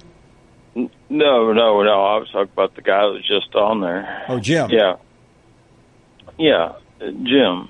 Yeah, he he was quite an ass. Okay, we, we've established that. But uh, I think you're over anyway. your uh, your limit on, on how many times you can say that word. Okay, well, I won't use that word again. Thank you. Thank you. But uh, Yeah, I mean, I mean, it's only it's only three times an hour we're allowed that uh, by, by by club rules. Stan is in Arkansas. What do you say, Stan? Well, how you doing there, Mr. Paul? We are doing well, thank you. Okay, I was just well, a couple of things I want to talk about. First one was that Chris he's talking about uh, Alabama fans and baseball. Hey, that's that's just that's straight up just baseball fans having fun. You're gonna find that everywhere you go. Okay. That's part of the game. They're there to have fun, and that, that's part of the game. But I was going to talk about David Bazzel talking about Razorback football, and the first time I can say somebody hit the nail on the coffin. and uh, he was talking about it. it. It's a shame to say that the, the best things we got going in football coming in is our running back and our secondary. We don't have an offensive line, and we and we don't have a defensive line, and our starting quarterback is uh, going to be uh, Connor coming in next year as a true freshman. I believe will be our starting quarterback. Uh, what do you think about that? Well, you know, I, I haven't seen much of these guys, but but I, I think um, the new offense is going to be pretty exciting to watch. So I hope I hope uh, Morris can find the right guy. Well, and Mr. Paul, one thing I, I, I was going to talk about baseball. I'm just glad to see that uh, Arkansas's toughest schedule in baseball is out of the way because we already played Kentucky, went played Ole Miss, and played Florida, and we we swept Auburn this past weekend. I'm just hoping we can play halfway decent ball, and I think it'll probably be for the championship in baseball. But we'll be between Florida and Arkansas at the SEC when it comes down to it. Thank you very, very much. Good to hear from you. Let's uh, talk to Ed in Georgia. Good afternoon, Ed. Hey, it's Paul, how are you? Excellent. Thank you very much. Yeah, um, I just want to rebuttal on the fellow that we're talking about Alabama fans being um, arrogant. Yes. Paul, Paul, we, we are not arrogant. We are realistic. you know, we try to work for a championship every year. We try to bring the best players in, like everybody else does. You know, what's wrong with that? That's the way it's supposed to be. Yeah, sure. I mean, you're going to pay uh, Nick Saban uh, eleven million dollars a year, what do you expect? My Oh, God. exactly. Exactly. Yeah. Yes. I mean, what, if, you, if you pay me eleven million dollars a year, what would you expect from me? Uh, I would expect success. Well, that's what I would probably give you. You know, I appreciate. Uh, I saw the Saban with Trump today, and do you think that uh, Saban would probably make a nice vice president in 2020? I think he would. Make, you know, I, I, I tell you what. I, I was in Saban's office uh, about a year and a half ago, and I asked him about running for office, and he I'm just did not you. want any part of it. But I think the guy would be a great politician. He's very savvy. He's very diplomatic. Ed, thanks very much for the call. Do appreciate it. G- g- Great to hear from you. How about Justin in Cleveland? You're on the air. Go right ahead. Paul, I'm here to take up for Jim in Tuscaloosa. I think he pronounces the word window correctly. I think it was Melissa Etheridge who said it best. Come to my window, I'll be home She soon. did. She sure did. Great song. Love it. Keep it up. Thank you very much. Great to hear from you. Greg is on the phone. Greg, what's up? Hey, Paul. Thanks for taking my call. Thank you. Got a lot going on today. It was nice seeing uh, tr- uh, Trump and the Crimson Tide there together. I know it's uh, their fifth time there, but Trump's first, and hopefully they'll have another opportunity maybe in the future to get there. But I, when I heard that uh, Saban was calling recruits, I could imagine Will Ferrell sitting up there uh, calling some of uh, Kirby's recruits from Georgia using his President George Bush voice or also his Ricky Bobby voice, talking about, you know, coming in second place as being first loser. Oh, absolutely. Yeah, so I just thought that was kind of funny when they when your uh, reporter there had that remark that Nick was uh, calling on the job while I was in the you White know, House. uh, for uh, for what happened today, that will be the one takeaway: is Nick Saban calling recruits from the Oval Office, whether he was actually doing it or not in the Oval Office. That's that's what people are going to be talking about. Right, and even as Trump was leaving to go handle what's going to happen here shortly in Syria, uh, it was nice to be able to see him take a moment out to enjoy one of America's pastimes. Let me, have, let ask you a question um, about Jim because I've never met Jim, but have you ever fix, uh, physically met Jim from Tuscaloosa? I have not. Um, I have had uh, phone conversations with him, but uh, we have never come face to face. Okay, so other than phone conversations, we don't have any physical proof that he's actually a real person, correct? Well, people have sent us what uh, are believed to be pictures of Jim. I, I was Right. I was in Tuscaloosa about a year ago at a, uh restaurant, and the, the uh, owner told me that Jim had been in there previously a couple of days earlier. So I mean, I've had people tell me they think they know who Jim is, but no, we have not had uh, absolute confirmation of Jim. So if if Jim is who he says he is, and he takes credit for all that he said he's done, and, and I don't know Jim other than the last couple of years on this show, I don't understand why he would not take the opportunity uh, to meet you, especially if he's called you since your radio days in Birmingham. I don't know what the hesitancy would yeah, be. yeah, listen, I, I, I have invited many years ago. We had a uh, Christmas luncheon. Uh, I personally invited him. Uh, he chose not to come up. He uh, we we had we were in we were in Huntsville once or twice having a we used to have an annual spring fall kickoff up there. We invited him with other people, but Jim is I don't want to call him a recluse. That would mean that he never goes out because he does go out. You, I mean, you hear him give us the Tuscaloosa traffic report every afternoon. True. Well, then he at least serves one purpose in life. Have a great day, Paul, and thanks for taking my call. Thank you very much. Great to hear from you, uh, Greg. With quick break, Barrett Sallee in the final hour. We'll get his take on Saban at the White House calling recruits and the Ole Miss conundrum. More to come. You're listening to the Paul Finebaum Show podcast. And we welcome all of you back. Glad you're here. It's been a busy show. If you're just getting off work, getting home, uh, we had live coverage in our first hour from the White House. Not often we do that. President uh, welcoming the Crimson Tide and Nick Saban. Then we had uh, some uh, reports from there as well. More of your phone calls at 855-242-7285. Maxine is calling next. Good afternoon, Maxine. Uh, hello, Paul. Hi there. Uh, I was going to say two things. First, that other caller asked what I've been wanting to ask you. Uh, had you ever saw uh, Jim from Tuscaloosa? Yeah, uh, never. You know, when, you know, when the caller asked you, had you ever saw Jim before? I have never, I have had. never uh, seen him. Okay. No. Okay, I've been wanting to ask you that. Uh, I was going to say, uh, sometimes when I listen to him, uh, your sec- if you have security, they need to know what he looks like. I'm Well, serious. you- you- let, let me say this. Uh, He sounds crazy several, sometimes. Several people have sent me what they think is Jim. Um, I don't know whether that's Jim or not, so I don't think it's fair to show someone on the screen. No, I wouldn't want you to do that. I'm talking about you yourself. But yeah, I mean, I, I would, uh, I would like to meet him. Uh, he, it's, uh, I mean, I feel like I'm trying to find J.D. Salinger. I mean, I just have never, I can't, I ever, I can't seem to land him. I mean, like I said, I said if you have security, I need to know what he looks like. I'm serious. No, no, I think we all would, uh, and I wish Jim would would would agree. I mean, we've invited him to the studio. We offered to send a plane for him. I heard you. I heard you talk about.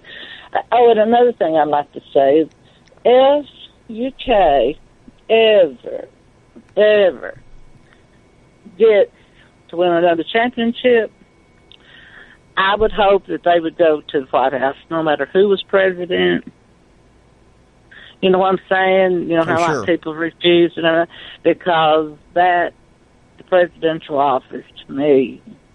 yeah, you know, and, I, and. I, I have to give uh, Saban credit today. Uh, he chose not to politicize this visit. Uh, I've heard Saban say this in the past.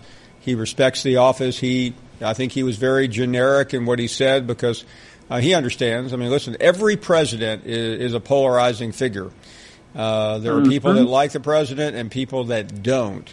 And I'm I- old enough to know. I've been. I mean, every, I'll, every I'll- one of them. But I'll tell you. If, I I'll, I'll tell you. I, I- I will I tell you this story though, uh, Maxine. Uh, I had the occasion um, about five or six years ago to be at the White House in the West Wing, and uh, as you again, I don't mean to. Uh, I'm trying to d- describe as you come out of the Oval Office down a long hallway. Uh, you'll take a right, and then you, you'll. It takes you into the Rose Garden, and there was a picture. It was the last picture before you got to the Rose Garden, and the picture was of President Obama and of Nick Saban. I, I, I think it was at one of the uh, either 11 or 12, whatever year uh, they were there, both years, obviously. And I happened to see say uh, Saban uh, a couple of months later, uh, a couple of weeks later, it wasn't that long, and I said, by the way, I have, I mean, I know this sounded a little bit self-serving here. I said, I happened to be at the White House the other day, and I was, uh, uh, and I saw your picture up, and he actually broke into one of the, one of the three or four times in, in my life I've ever seen him break into a wide grin.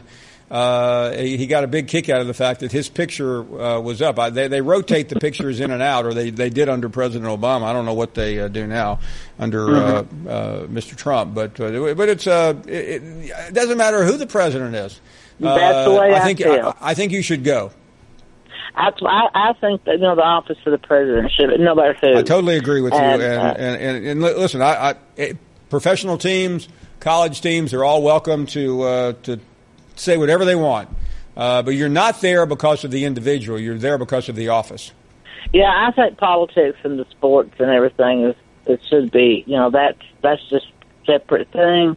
And like I said, if I had a chance to go, I don't care who was president. No, I agree. It doesn't matter to I would me. love to go. I would love to go because I Right. love his history and everything. And I just think I, I would love to go. There is uh, So- there is nothing quite like it. I've had the the uh, the honor of being there a couple of times, uh, especially in the last few years. Maxine, It- it- I I was in there a couple of years, maybe two years ago. Walked in that place, and there is just nothing like it. Uh, and, and I haven't. It's not like I've been to.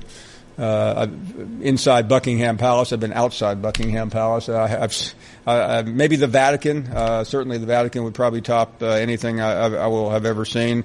Uh, walking in there, but uh, uh, okay. Uh, Jim wants to explain why he has never, why he will not come on this show and be seen in public. What's the answer, Jim? Well, first, let me respond to Max there, Maxine. Maxine, what business were you in before you got in mine? Ooh. Okay, Paul, I'm, I'm going to go. With, I'm going to tell you exactly what I've told you two or three times since I've been on your show. Okay. From the from day one, I tell you, the putrid eye monkey bashed me, and I knew, I knew all those kind of people. Ninety percent of the people at, at those functions were people that hated me, and I didn't like them. I promise you. The only person I miss not being with, and we talked about it many times, was Shane. You know that. I miss not being with Shane. Other than that, I don't want to get around. I don't associate with trash. And I promise you, most of those people at your functions, including Greg, are trash, in my opinion, because they are they're, they're wannabe haters. I mean, they're haters, and they they. But they Jim, but, but wouldn't like- wouldn't you put some of this to bed uh, if you? Uh, I don't have to put anything to bed, Paul. I'm not. You think I need to come up there? I don't need to prove anything to you or any of the uh, of the people that you. well, you- no, you don't need to prove anything, Jim. But at, at least you would be showing, hey, I, this is me. I'm Jim from Tuscaloosa. I don't. I mean, you I, I'm here every day. I, day. am on the I mean, radio. what's you, that? you know who I am on the radio. You wouldn't. Have, you don't have to. You don't compliment nine people by telling them what you told about me in the book. I mean, uh, look, Paul. I told you just that simple as that. I don't want to be around those people, and I'm afraid if I was around them, something might happen either way. something I, might I'm happen. What do you mean something might happen? Well, I mean, uh, if one of them took a shot at me with a, with a fist, he get. I'm like Trump, man. I come back. Jim, at you. I, I promise you, we uh, you, you you will have security. no, you can't promise me anything because you, don't know. uh, Jim, you, fools on Jim, Paul. Jim, you, you will. If you're in on our show, you will be protected. No one will get at you. I don't want to be protected. I don't want to be, and I don't want to be around buffoon liars like iMonkey, Squirrel, on and on, Maxine, Greg from wherever he is. I mean, by the way, Jim, you know I'm Jim. I mean, uh, is there something about people that you don't please. like? Let me finish, please. No, well, I is mean, that this is- Greg? Wait, is that Greg guy? You think we wonder if he's real? I mean, if he's real and he was in the submarine Navy. Uh, Jim, uh, uh, Jim, I met Greg last year in Birmingham at SEC Media Days. He is real. yeah, well, I know what he, he's really a jerk. What he really is. No, no, he's not a jerk. He served this country. No, he is a jerk, Paul, but the way he trashes me on the show. I, I, that's all I go for. That's, I told you the truth. That's all I got for you on that. Thank you. Jim, I'm trying to help you. Can't help you. I don't know where to go after that. William is up next in Kentucky. What do you say, William? Hey, Paul. Hey, I'm about sick of Jim and Daryl. You know, all they want to do is call and bellyache. You know, you can tell by just listening to them on the phone that their mama had to tie a pork chop around their neck to get the dogs to play with him. You know, he's at, all they were in high school was probably uh, managers. They carried the water for the players and the sweat rags. You know, and then he wants to get on here and then talk, cut people down like Maxine and everybody else. And John, you was right. Par is an average on a, what an average golfer should shoot on the golf course. The better you are, the lower your score is. The worse you are, the higher the score. You know, this show is a great show, but damn if I don't get tired of listening to the belly aching from them two. That's all I got to say, folks. SRO. We'll take a break. 90 minutes left in case you thought it was almost over. We are coming right back. You're listening to the Paul Finebaum Show podcast. You're not worth a flip. I'm a one trick pony. Literally. I show up at kids' parties and act cute. That's pretty much it. So excuse me for being bitter. When Geico says not only could we save you money on car insurance, but we do more. Like give you 24-7 access online, over the phone, or even via our award-winning mobile app. Well, ooh la la. Aren't they multi-talented? hey, I said organic carrots. Geico. Expect great savings and a whole lot more. Welcome back. Uh, glad you are here. Let's continue with more phone calls. Art is on the air in Birmingham. Hello, Art. Hello, Paul. Holy cow. I just want to thank you for having such maintained a, a solid show all these years. And, man, you've been bathing all kinds of animals. And I just appreciate it more than anything. You, you Well, know, thank you. go out to the, to the junkyard dogs. And again, I just want to thank you. You do you do great. I, I'm so glad that you've gone on and on like this. Just you know, and, and I want to just tell you again, Bama's got paid by the rain, and they they're eating the greens and cornbread today. So I just really appreciate it, buddy, man. I'm serious. It's been a long time. You've been bathing animals of all sorts. I like to bathe animals.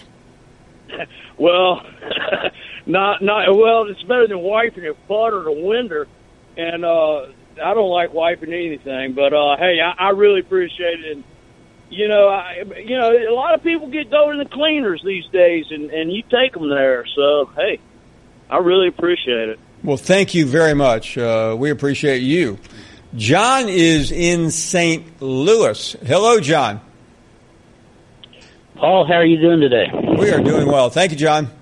Uh, Paul, real quick here, just for a couple minutes. You know, I know all the folks want to uh, start talking about the uh, the f- SEC football, obviously, with all the spring games coming up. But I wanted to uh, kind of touch on the fact that I think uh, SEC basketball fans have a lot to uh, uh, look forward to coming up. I, I just think the SEC is continuing to add good coaches. I think the uh, the Georgia hire was a very strong hire. It's not not going to make that program anything but better and better. And I uh, don't know a lot about the the coach that was hired. Was it at Mississippi State or Ole Miss that was hired from East Tennessee?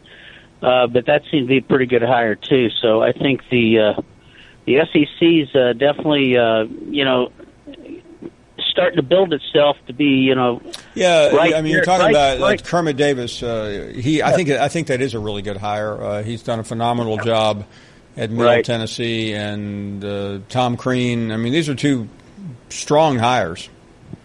Absolutely. So I really don't see a quote unquote weak link with any uh, of the schools in developing and recruiting kids in the SEC. So I just a general comment. I think uh, you know we have a lot to look forward to with uh, a really competitive league. The only thing you look, worry a little bit about is we kind of beat up on each other through the year, and then seems like we get in that tournament and we come up a little bit short, not being able to get that elite eight or even the final four. So anyway, that's about all I had for today. Okay. Appreciate the call, Barrett Sallee. A little bit later on, David is next up in Florida. David, welcome. Hey, Paul. I just wanted to say, hey, good to get finally get through. Thank Um, you. What do you who do you think will be Alabama's starting quarterback? Well, I think too. Uh, I think Jalen Hurts will come out of spring as the starter. Um, it's a little bit difficult to gauge because Tua has been hurt because he hurt himself in the very first practice. So I mean, I, I, I can't get a real good handle on it. Yeah, I, I heard that. I was just trying to figure out when uh, their spring game was, but I Uh, the spring game will be uh, a week from Saturday, the twenty first. Yeah, and all yeah, and also, um, do, do you think we'll be able to repeat, or do you think it's going to be some other? SEC team this year for championship. Well, I mean, listen, you, you you can make a lot of money picking Alabama to win every year. Um, so, uh, they, uh, they, you know, they only repeated one time. That was uh, in twelve, but uh, they've been close every other time. So yeah, I mean, I would uh, I would go with Alabama. All right, thank you. And also, uh, you need to get uh, Laura back on the show. We're trying. Uh, she changed her number. Said, "Do not bother me anymore." and tell John to get off my grass. Thank you very much. Great to hear from you. Larry, uh, always great to hear from Larry. Larry's never told anyone to get off his lawn.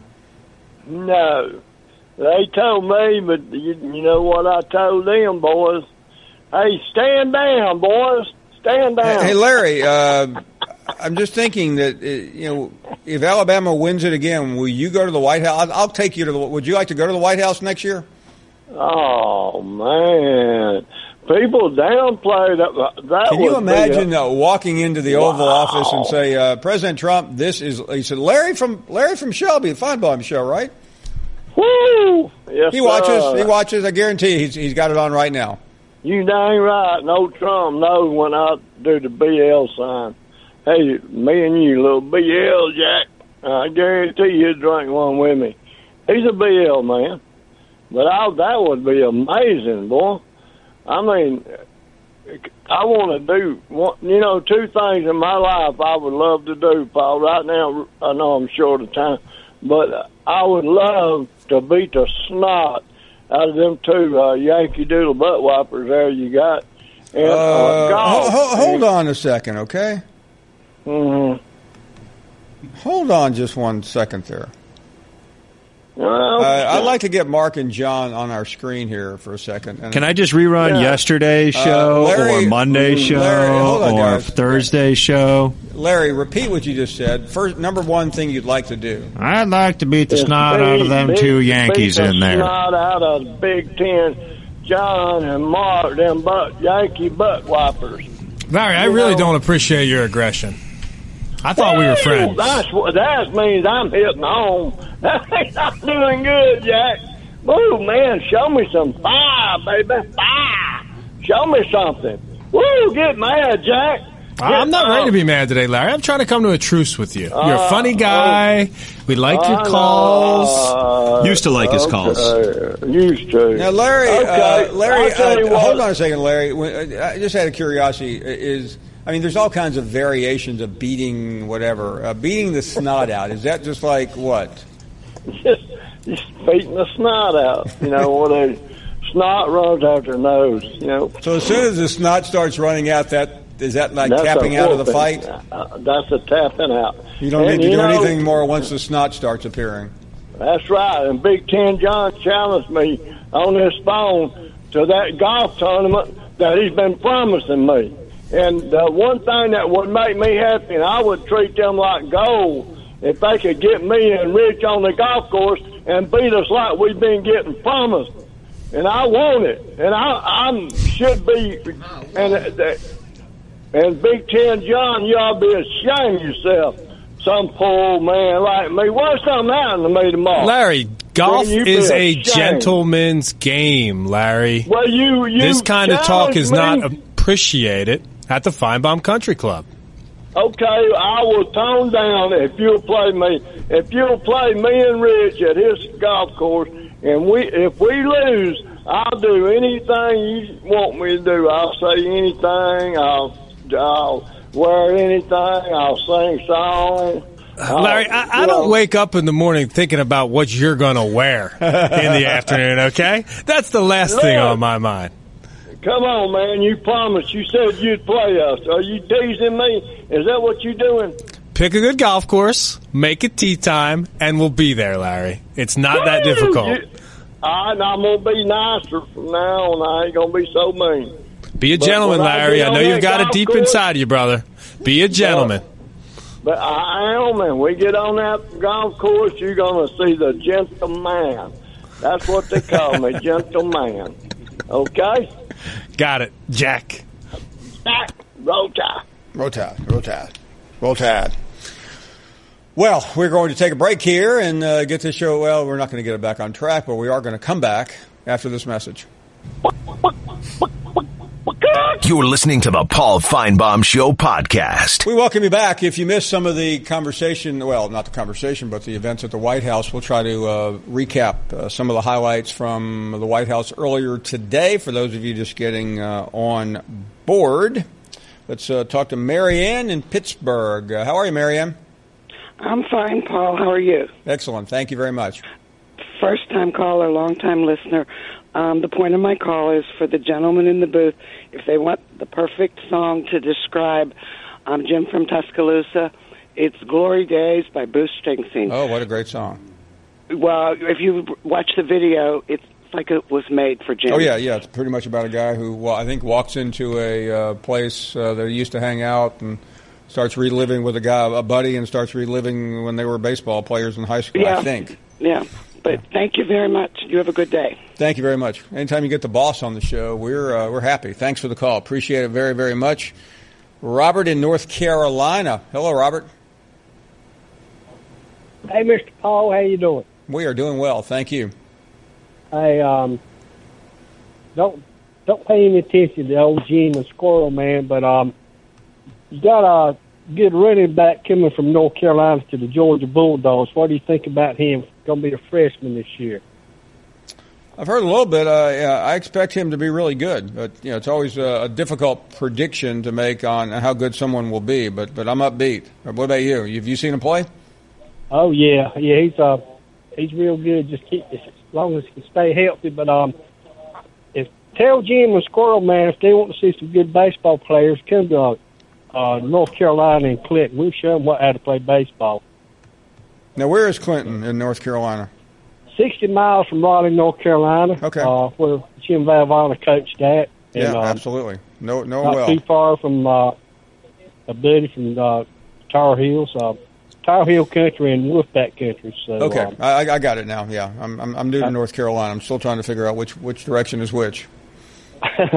anyway, love your show and um, you keep up the good work and don't worry about Squirrel Man and Big Jim because bring them up here. We'll show them how to play um, baseball and we'll go squirrel hunting with Squirrel Man. I got a squirrel dog. I bet you do, Robert. Thanks for the call from uh, the Tar Heel State. Steven is in Steve is in Tennessee, the Volunteer State. How are you, Steve? I'm great. How are you, Paul? Excellent. Thank you very much for calling.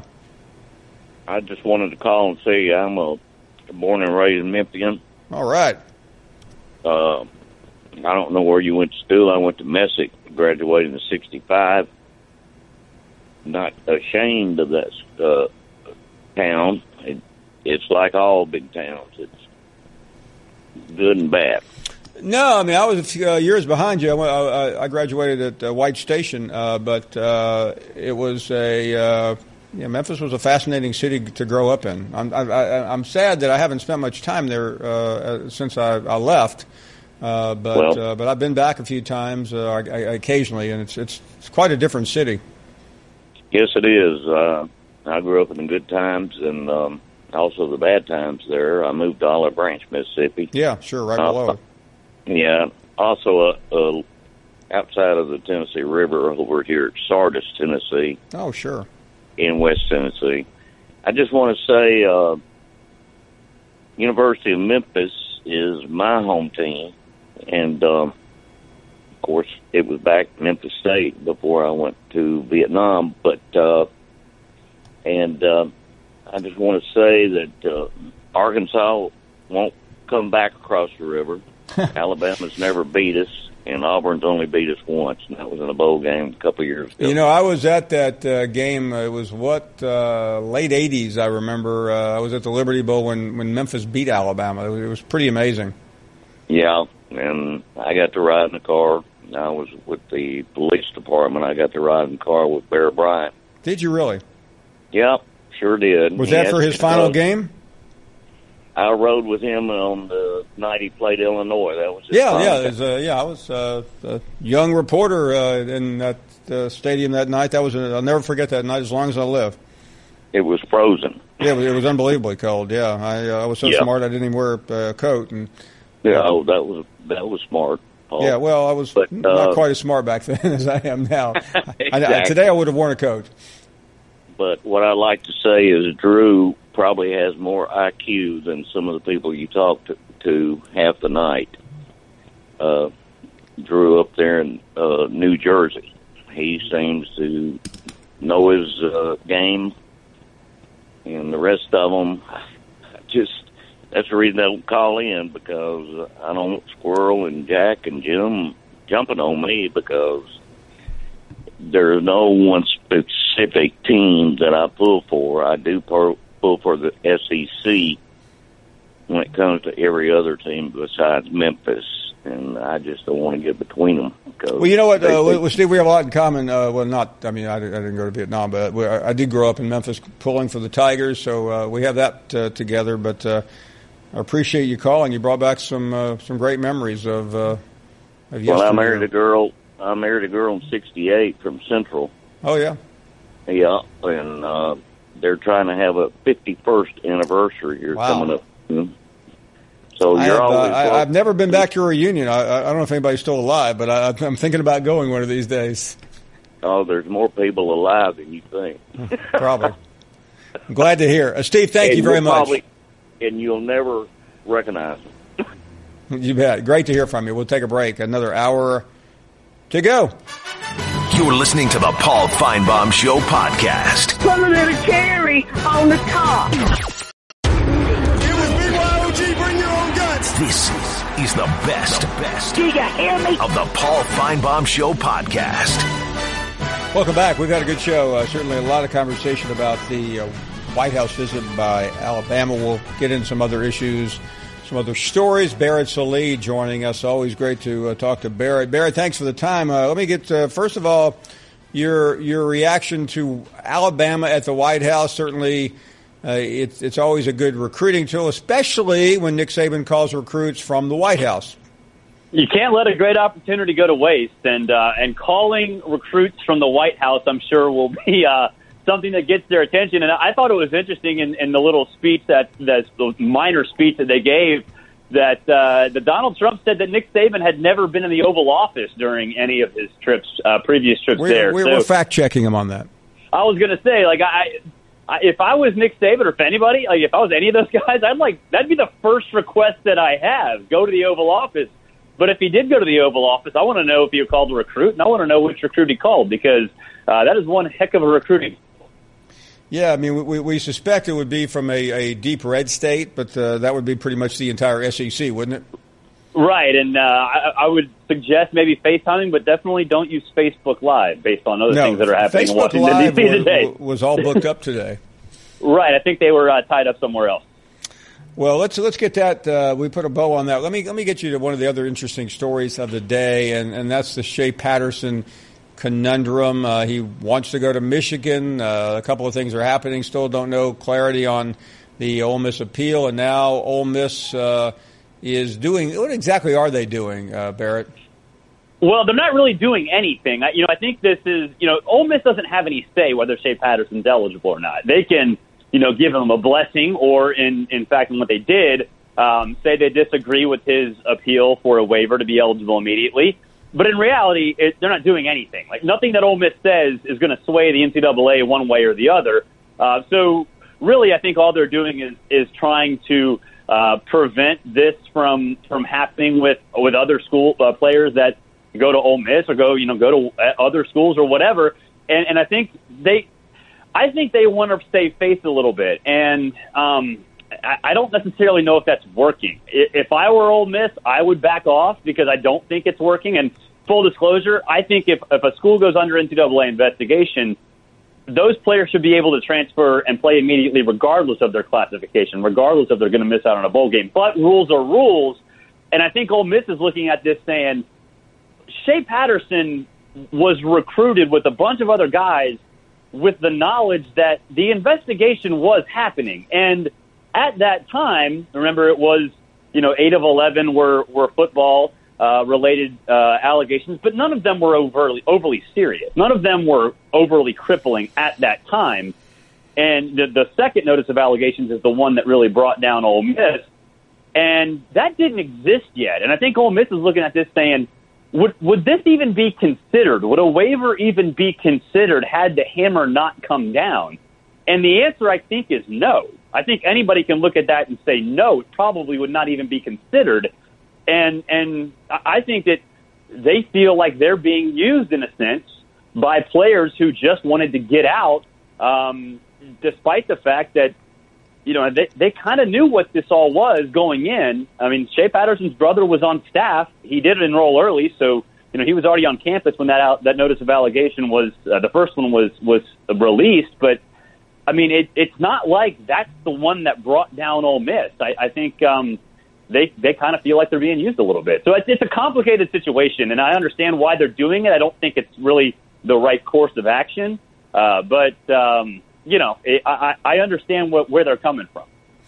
Barrett Sallee with us. Uh, Barrett, we are moving our or mowing our way through all the spring games in the SEC. We're heading toward, I think, the third weekend of it.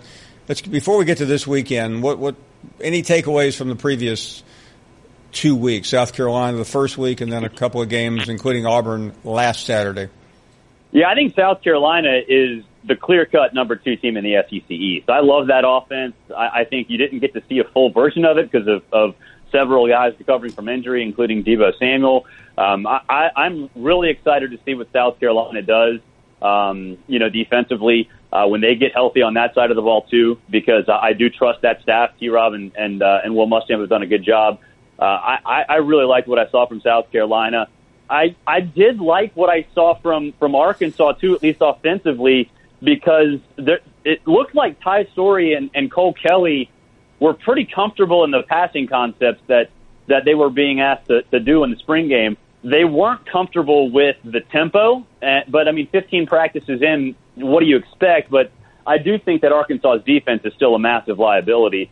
And Auburn, I mean, everybody was banged up. You couldn't really tell an awful lot. Uh, I, I do think the one thing that sort of stood out to me is is that front seven is filthy. I mean, I, I think even without Jeff Holland, they're going to be better in the front seven la- uh, this year than they were last year. Um, because I mean, you look at the versatility on the defensive line alone. I mean, it's pretty astounding. Talking to Barrett Sallee, let's take a look uh, ahead to this weekend and obviously the final weekend. We'll see Alabama, Tennessee, among others. Uh, what are you looking for, looking forward to this weekend? We have Kentucky on Friday night, uh, A and M. Who else? Uh, uh, Florida. Florida. And there's one more Saturday. Mizzou. yeah, Missouri. Um, yeah, I think the, the two that really stand out to me are, are Florida and Texas A&M. For Florida, I mean, everyone wants to talk about the quarterbacks, and and I get it. I mean, Felipe Franks is the experienced guy that that obviously a lot of coaches, especially first year head coaches, always want to err on the side of experience. But it seems like everybody's been talking about Kyle Trask, and he's a guy who hadn't played a lot of football at any level. You know, so when, even when in, in high school he didn't play a ton of uh, football. So I'm, I want to see what the buzz is about with Kyle Trask um, because maybe he unseats Felipe Franks as the the, the safer option uh, ahead of Emory Jones. I think everybody knows that Emory Jones is the guy who fits Dan Mullen's system, but Kyle Trask I think is in this thing a little bit more than than maybe expected. And at Texas A&M, I know everyone's going to focus on quarterbacks, and I get it. Nick Starkel and Kellen Mond are both good players. I just want to know what Texas A&M's offensive identity is because Jimbo kind of got stuck at times, um, maybe putting a little too much trust in quarterbacks when he was at Florida State, uh, and and maybe got into a mode where he was run, run, run, throw it 60 yards and pray, and and really you look at what Texas A&M is built for, and the offensive coordinator he hired Darrell Dickey, who ran a, a pretty uh, West Coast style short pass offense at Memphis. That actually fits what Texas A&M it's supposed to be in terms of its personnel better than what Jimbo ran in Tallahassee. So uh, I want to see what the offense looks like. I want to see if Jimbo Fisher has changed himself and left his ego in Tallahassee and, and built an offense around players that um, that that are supposed to do what what what what Texas high school players and really what Dickey did at, at Memphis, um, you know, do best. So I think that's the more important question. The quarterback situation will settle itself because both of those guys can play. Uh, Barry, every time we've talked to you over the last three years, we ask you about LSU, and sometimes your comments go over well and sometimes not. And the reason I bring this up now is the FPI came out the other day. I'm sure you saw it. It gives uh, LSU a, the odds of coming in in the middle of the pack uh, pretty high. About uh, they're they're struggling to find seven wins for this program. I think the last time you were here, you felt better about LSU. Well, I mean, if they get six or seven wins, everybody's getting fired. Uh, so, um, you know, I, I think they. Um, you know, look, I, I think LSU is in a tough spot. I, I, I, I think that Ed Orgeron is in the mode of putting all the chips in the center of the table. If it works out and they've got a good defense, then, and, and if the offense just comes through a little bit, um, he'll be fine. But if it if it fails, it's going to fail in dramatic fashion. And um, you know, I, I think for LSU, the, the biggest question is this: it's not so much the quarterback, although that's obviously a point of concern. They lose like ninety. It's like uh, somewhere around ninety four percent of their rushing productivity from last year. It, it's one thing to have constant quarterback issues at LSU and and have a decent defense that that sort of rules the day. But if you have running back issues too, and we'll see what happens with Brossette and that crew, then then that's ma- a, a massive problem. So I think they've got issues. I, I think this year is going to be um, you know a make or break year, and it's either going to make Ed Orgeron the most beloved coach in LSU history, or usher in a new era that hopefully, for our sake, includes Lane Kiffin and Baton Rouge. Before you go, anything? If you're, uh, are you hearing anything out of Tuscaloosa on the quarterback battle? No, I mean I think the the biggest thing for me with that is is what happens with Jalen Hurts and and has he separated himself because of Tua's injury? Because he was basically handed a golden opportunity to say, hey, look, yeah, you were the the, the maybe the the under uh, the, the, not the front runner going in, but uh, you had this opportunity now to basically work with the ones the whole time, at least for the first few practices. Uh, how far ahead did you get? And if the answer is not very far, then he's not going to win the job. And so um, you know, Nick Saban said last week that, you know, kind of joked that he doesn't have a timetable and asked the media if, you know, we have a timetable. But the truth of the matter is the players set the timetable. Jalen Hurts has a timetable. Tua Tagovailoa has a timetable. And by the end of spring practice, those guys are going to know, you know, who's getting the majority of the ones, who's getting the majority of the twos. And they're going to, both of those guys are going to talk to Nick Saban after, after spring practice in his office and have very legitimate questions that ultimately sets the timetable for Nick Saban. So, um, you know, I, I think Jalen is a good player. We've never seen him react or put, put in a situation like this where he has to react to being the underdog uh, and be pushed. And he was handed a golden opportunity. So, you know, information out of Tuscaloosa is very hard to get these days. But uh, those guys will know by the end of spring practice, and that timeline will be set by those players for Nick Saban. Well, call Trump. I'm sure he got the skinny at the in the Oval Office conversation today. You think that's the first thing he asked uh, Saban? Okay, who's it going to be? I just like the fact that he, uh, Donald Trump really, really thought about saying Tua's full name, and then like said no, that we're not even going to bother. just said that that will that will end poorly. But no, I mean you know I. I, I'm, I'm glad those guys got to experience it. Looks like they had fun. I mean, anytime you can go to the White House and do all that stuff, that's pretty cool. Barrett Sallee, still waiting for his invitation to the White House. Barrett, thank you for being on. Appreciate it as always. I appreciate. It. I don't want that job though. I got it. Good stuff from Barrett Lee, uh, and we will take a break. Thirty minutes to go. Your phone calls. 855-242-7285. We are coming back. You're listening to the Paul Finebaum Show podcast. Welcome back to our program. Let's go right to the calls. Big day for the Crimson Tide, so why not share the the big uh, news with Legend calling us from Alabama. Legend, how are you? Just getting back from the White House, Paul. Man, uh, what, the, what what what what the what the Trumpster have to say? Well, he took me and Nick in the Oval Office and got some advice on some of the national affairs, and uh, I let him kiss the ring before I left the office. So, so. but uh, hey, Paul, uh, on a serious note, you know, I just got off the legend phone with Butch Jones, and uh, we're going to give Auburn a championship of life ring. hey, what did you think of Daniel Carlson saying today that uh, they might be the national champs, but we're the state champs?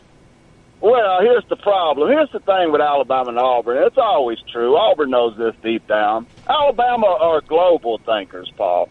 We're the first team to go to the Rose Bowl. We're the first team that the nation really took serious from the South. We was the first team to kick that door down and tell the whole world that they really play football down here in the South. We're the real team that has dominated the nation for the last 10 years. We're global thinkers, Paul. Auburn is farmers.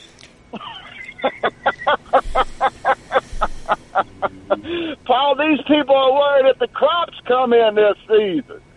I mean, the fact of the matter is the Iron Bowl is their Super Bowl. I mean, if they can win that one game, they will give a coach fifty million dollars, Paul. Fifty million dollars for winning the Iron Bowl. I mean, it, it it's really sad to me because they're not global thinkers. They're just farmers, Paul. They're just farmers. I mean, to them, winning the Iron Bowl is everything. We could care less. I, they could win it every year if there's a ring and a trophy at the end of the season for me. I mean, can have it. They can put Sean Well, it, it of It did. Uh, legend. Uh, it did cost you three straight national championships in 2013. Well, Paul, I mean, on occasion. I mean, we can't win them all, Paul. I mean, I mean, Saban knows. I mean, Saban will tell the folks close to him he should have seven or eight right now. But but the reality is we can't win them all. At the end of the day, though, you know, Auburn is a mediocre program that on occasion pulls out a, ma- a marvelous, fantastic year. That's who Auburn is. At the end of the day, they're a mediocre program that every five years they pull something out of their butt. I mean, that's who they've been. They ain't had a back-to-back 10-win season since 89, Paul. Since 89, come on. Since 89, this program ain't had a back-to-back 10-win season. I mean, uh, I mean, their kickers on crack. Their whole team's Yeah, on I, crack. I, and I don't think uh, I don't think Saban has beaten an Auburn team uh, that's uh, ever won nine games or more either, has he? Oh, oh, you taking up for Auburn? Is that what this is? I'm just trying to be fair.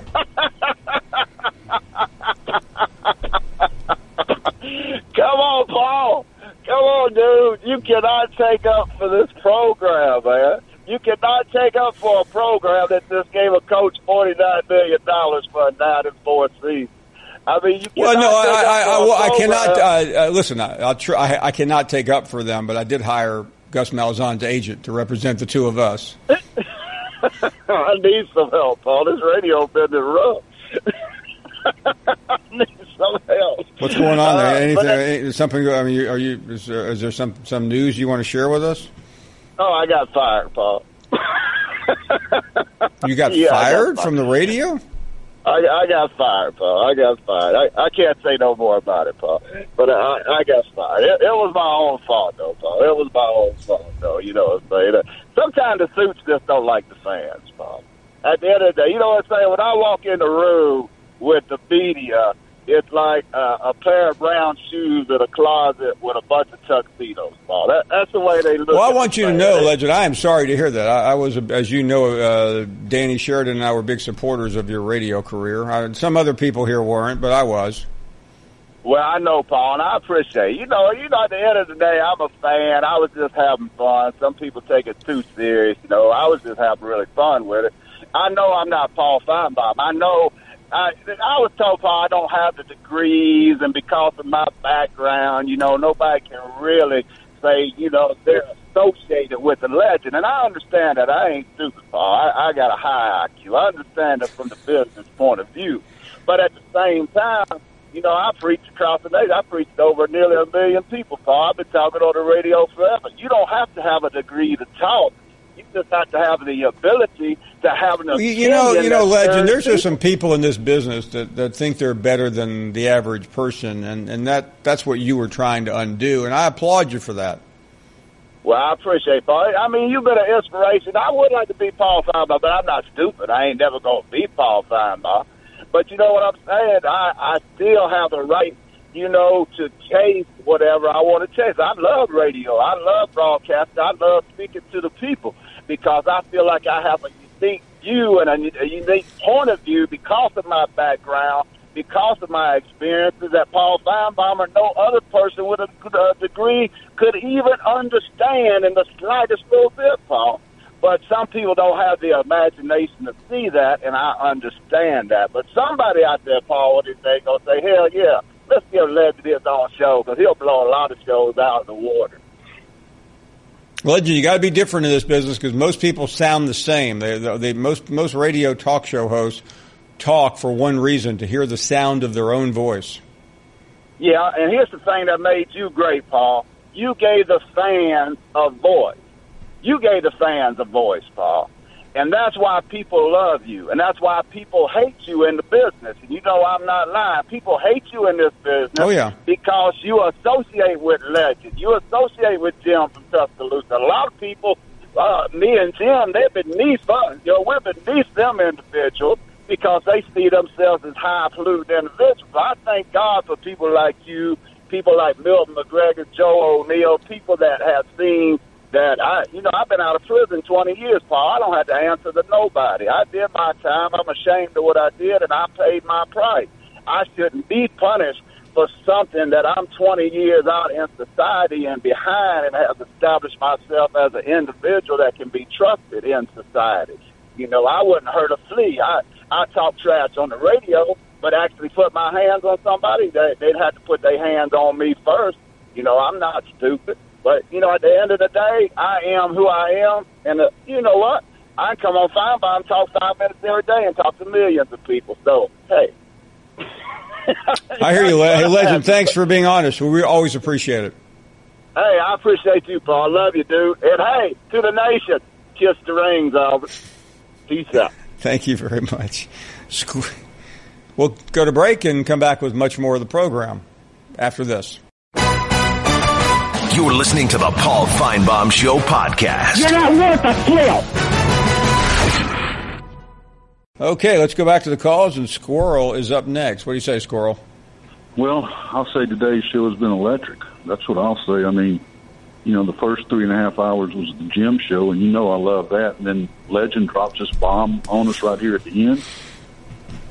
I mean, kind of stunned. How about you? I mean, Well, yeah. you listen, I, I, I, was sorry to see. I mean, I don't know what the circumstances were. I have a feeling I, I do with all the negativity uh, that came from this show and others about Legend having some fun on the radio. What's the big deal? The guy, uh, the Yeah, guy, the, the he guy, paid his price to side, and he's trying. I give him credit for We trying. did. L- No l- sense listen, uh, Squirrel. The whole purpose of of sending people away is to rehabilitate them so they'll be better citizens. And, and the guy's twenty years out of the out of the uh, the, the jail. I mean, it seems like he's done pretty well.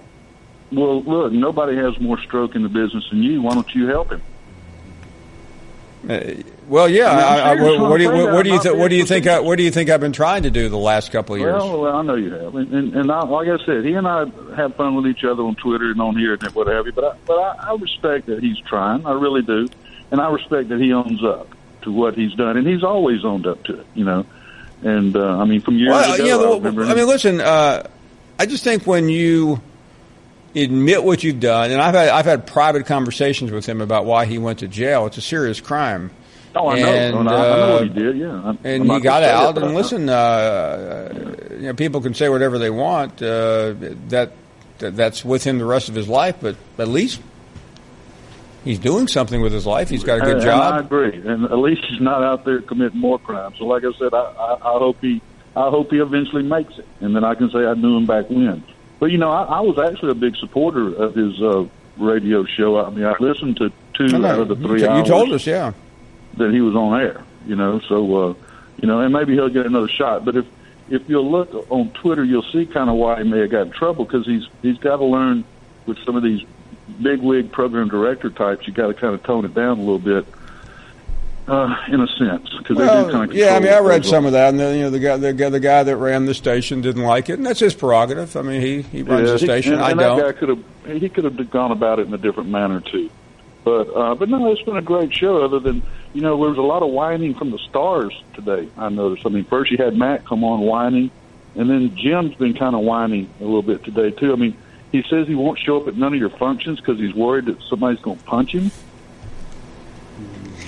I mean, have you had any fisticuffs break out at any of your? Uh, matter of fact, we had uh, a near fight between K Dub. Near fight. You said Well, well, uh, I man and K Dub came pretty close to blows uh, about Look, three, about five years ago. Stare at each other across the Well, no, I think I think there was close. some uh, hands on each other, but yeah, it was pretty. I don't think. eh, I don't think there's no hands on each other. Not- well, not I mean, the uh, you know, uh, Squirrel, tell me what I saw with my own eyes, okay?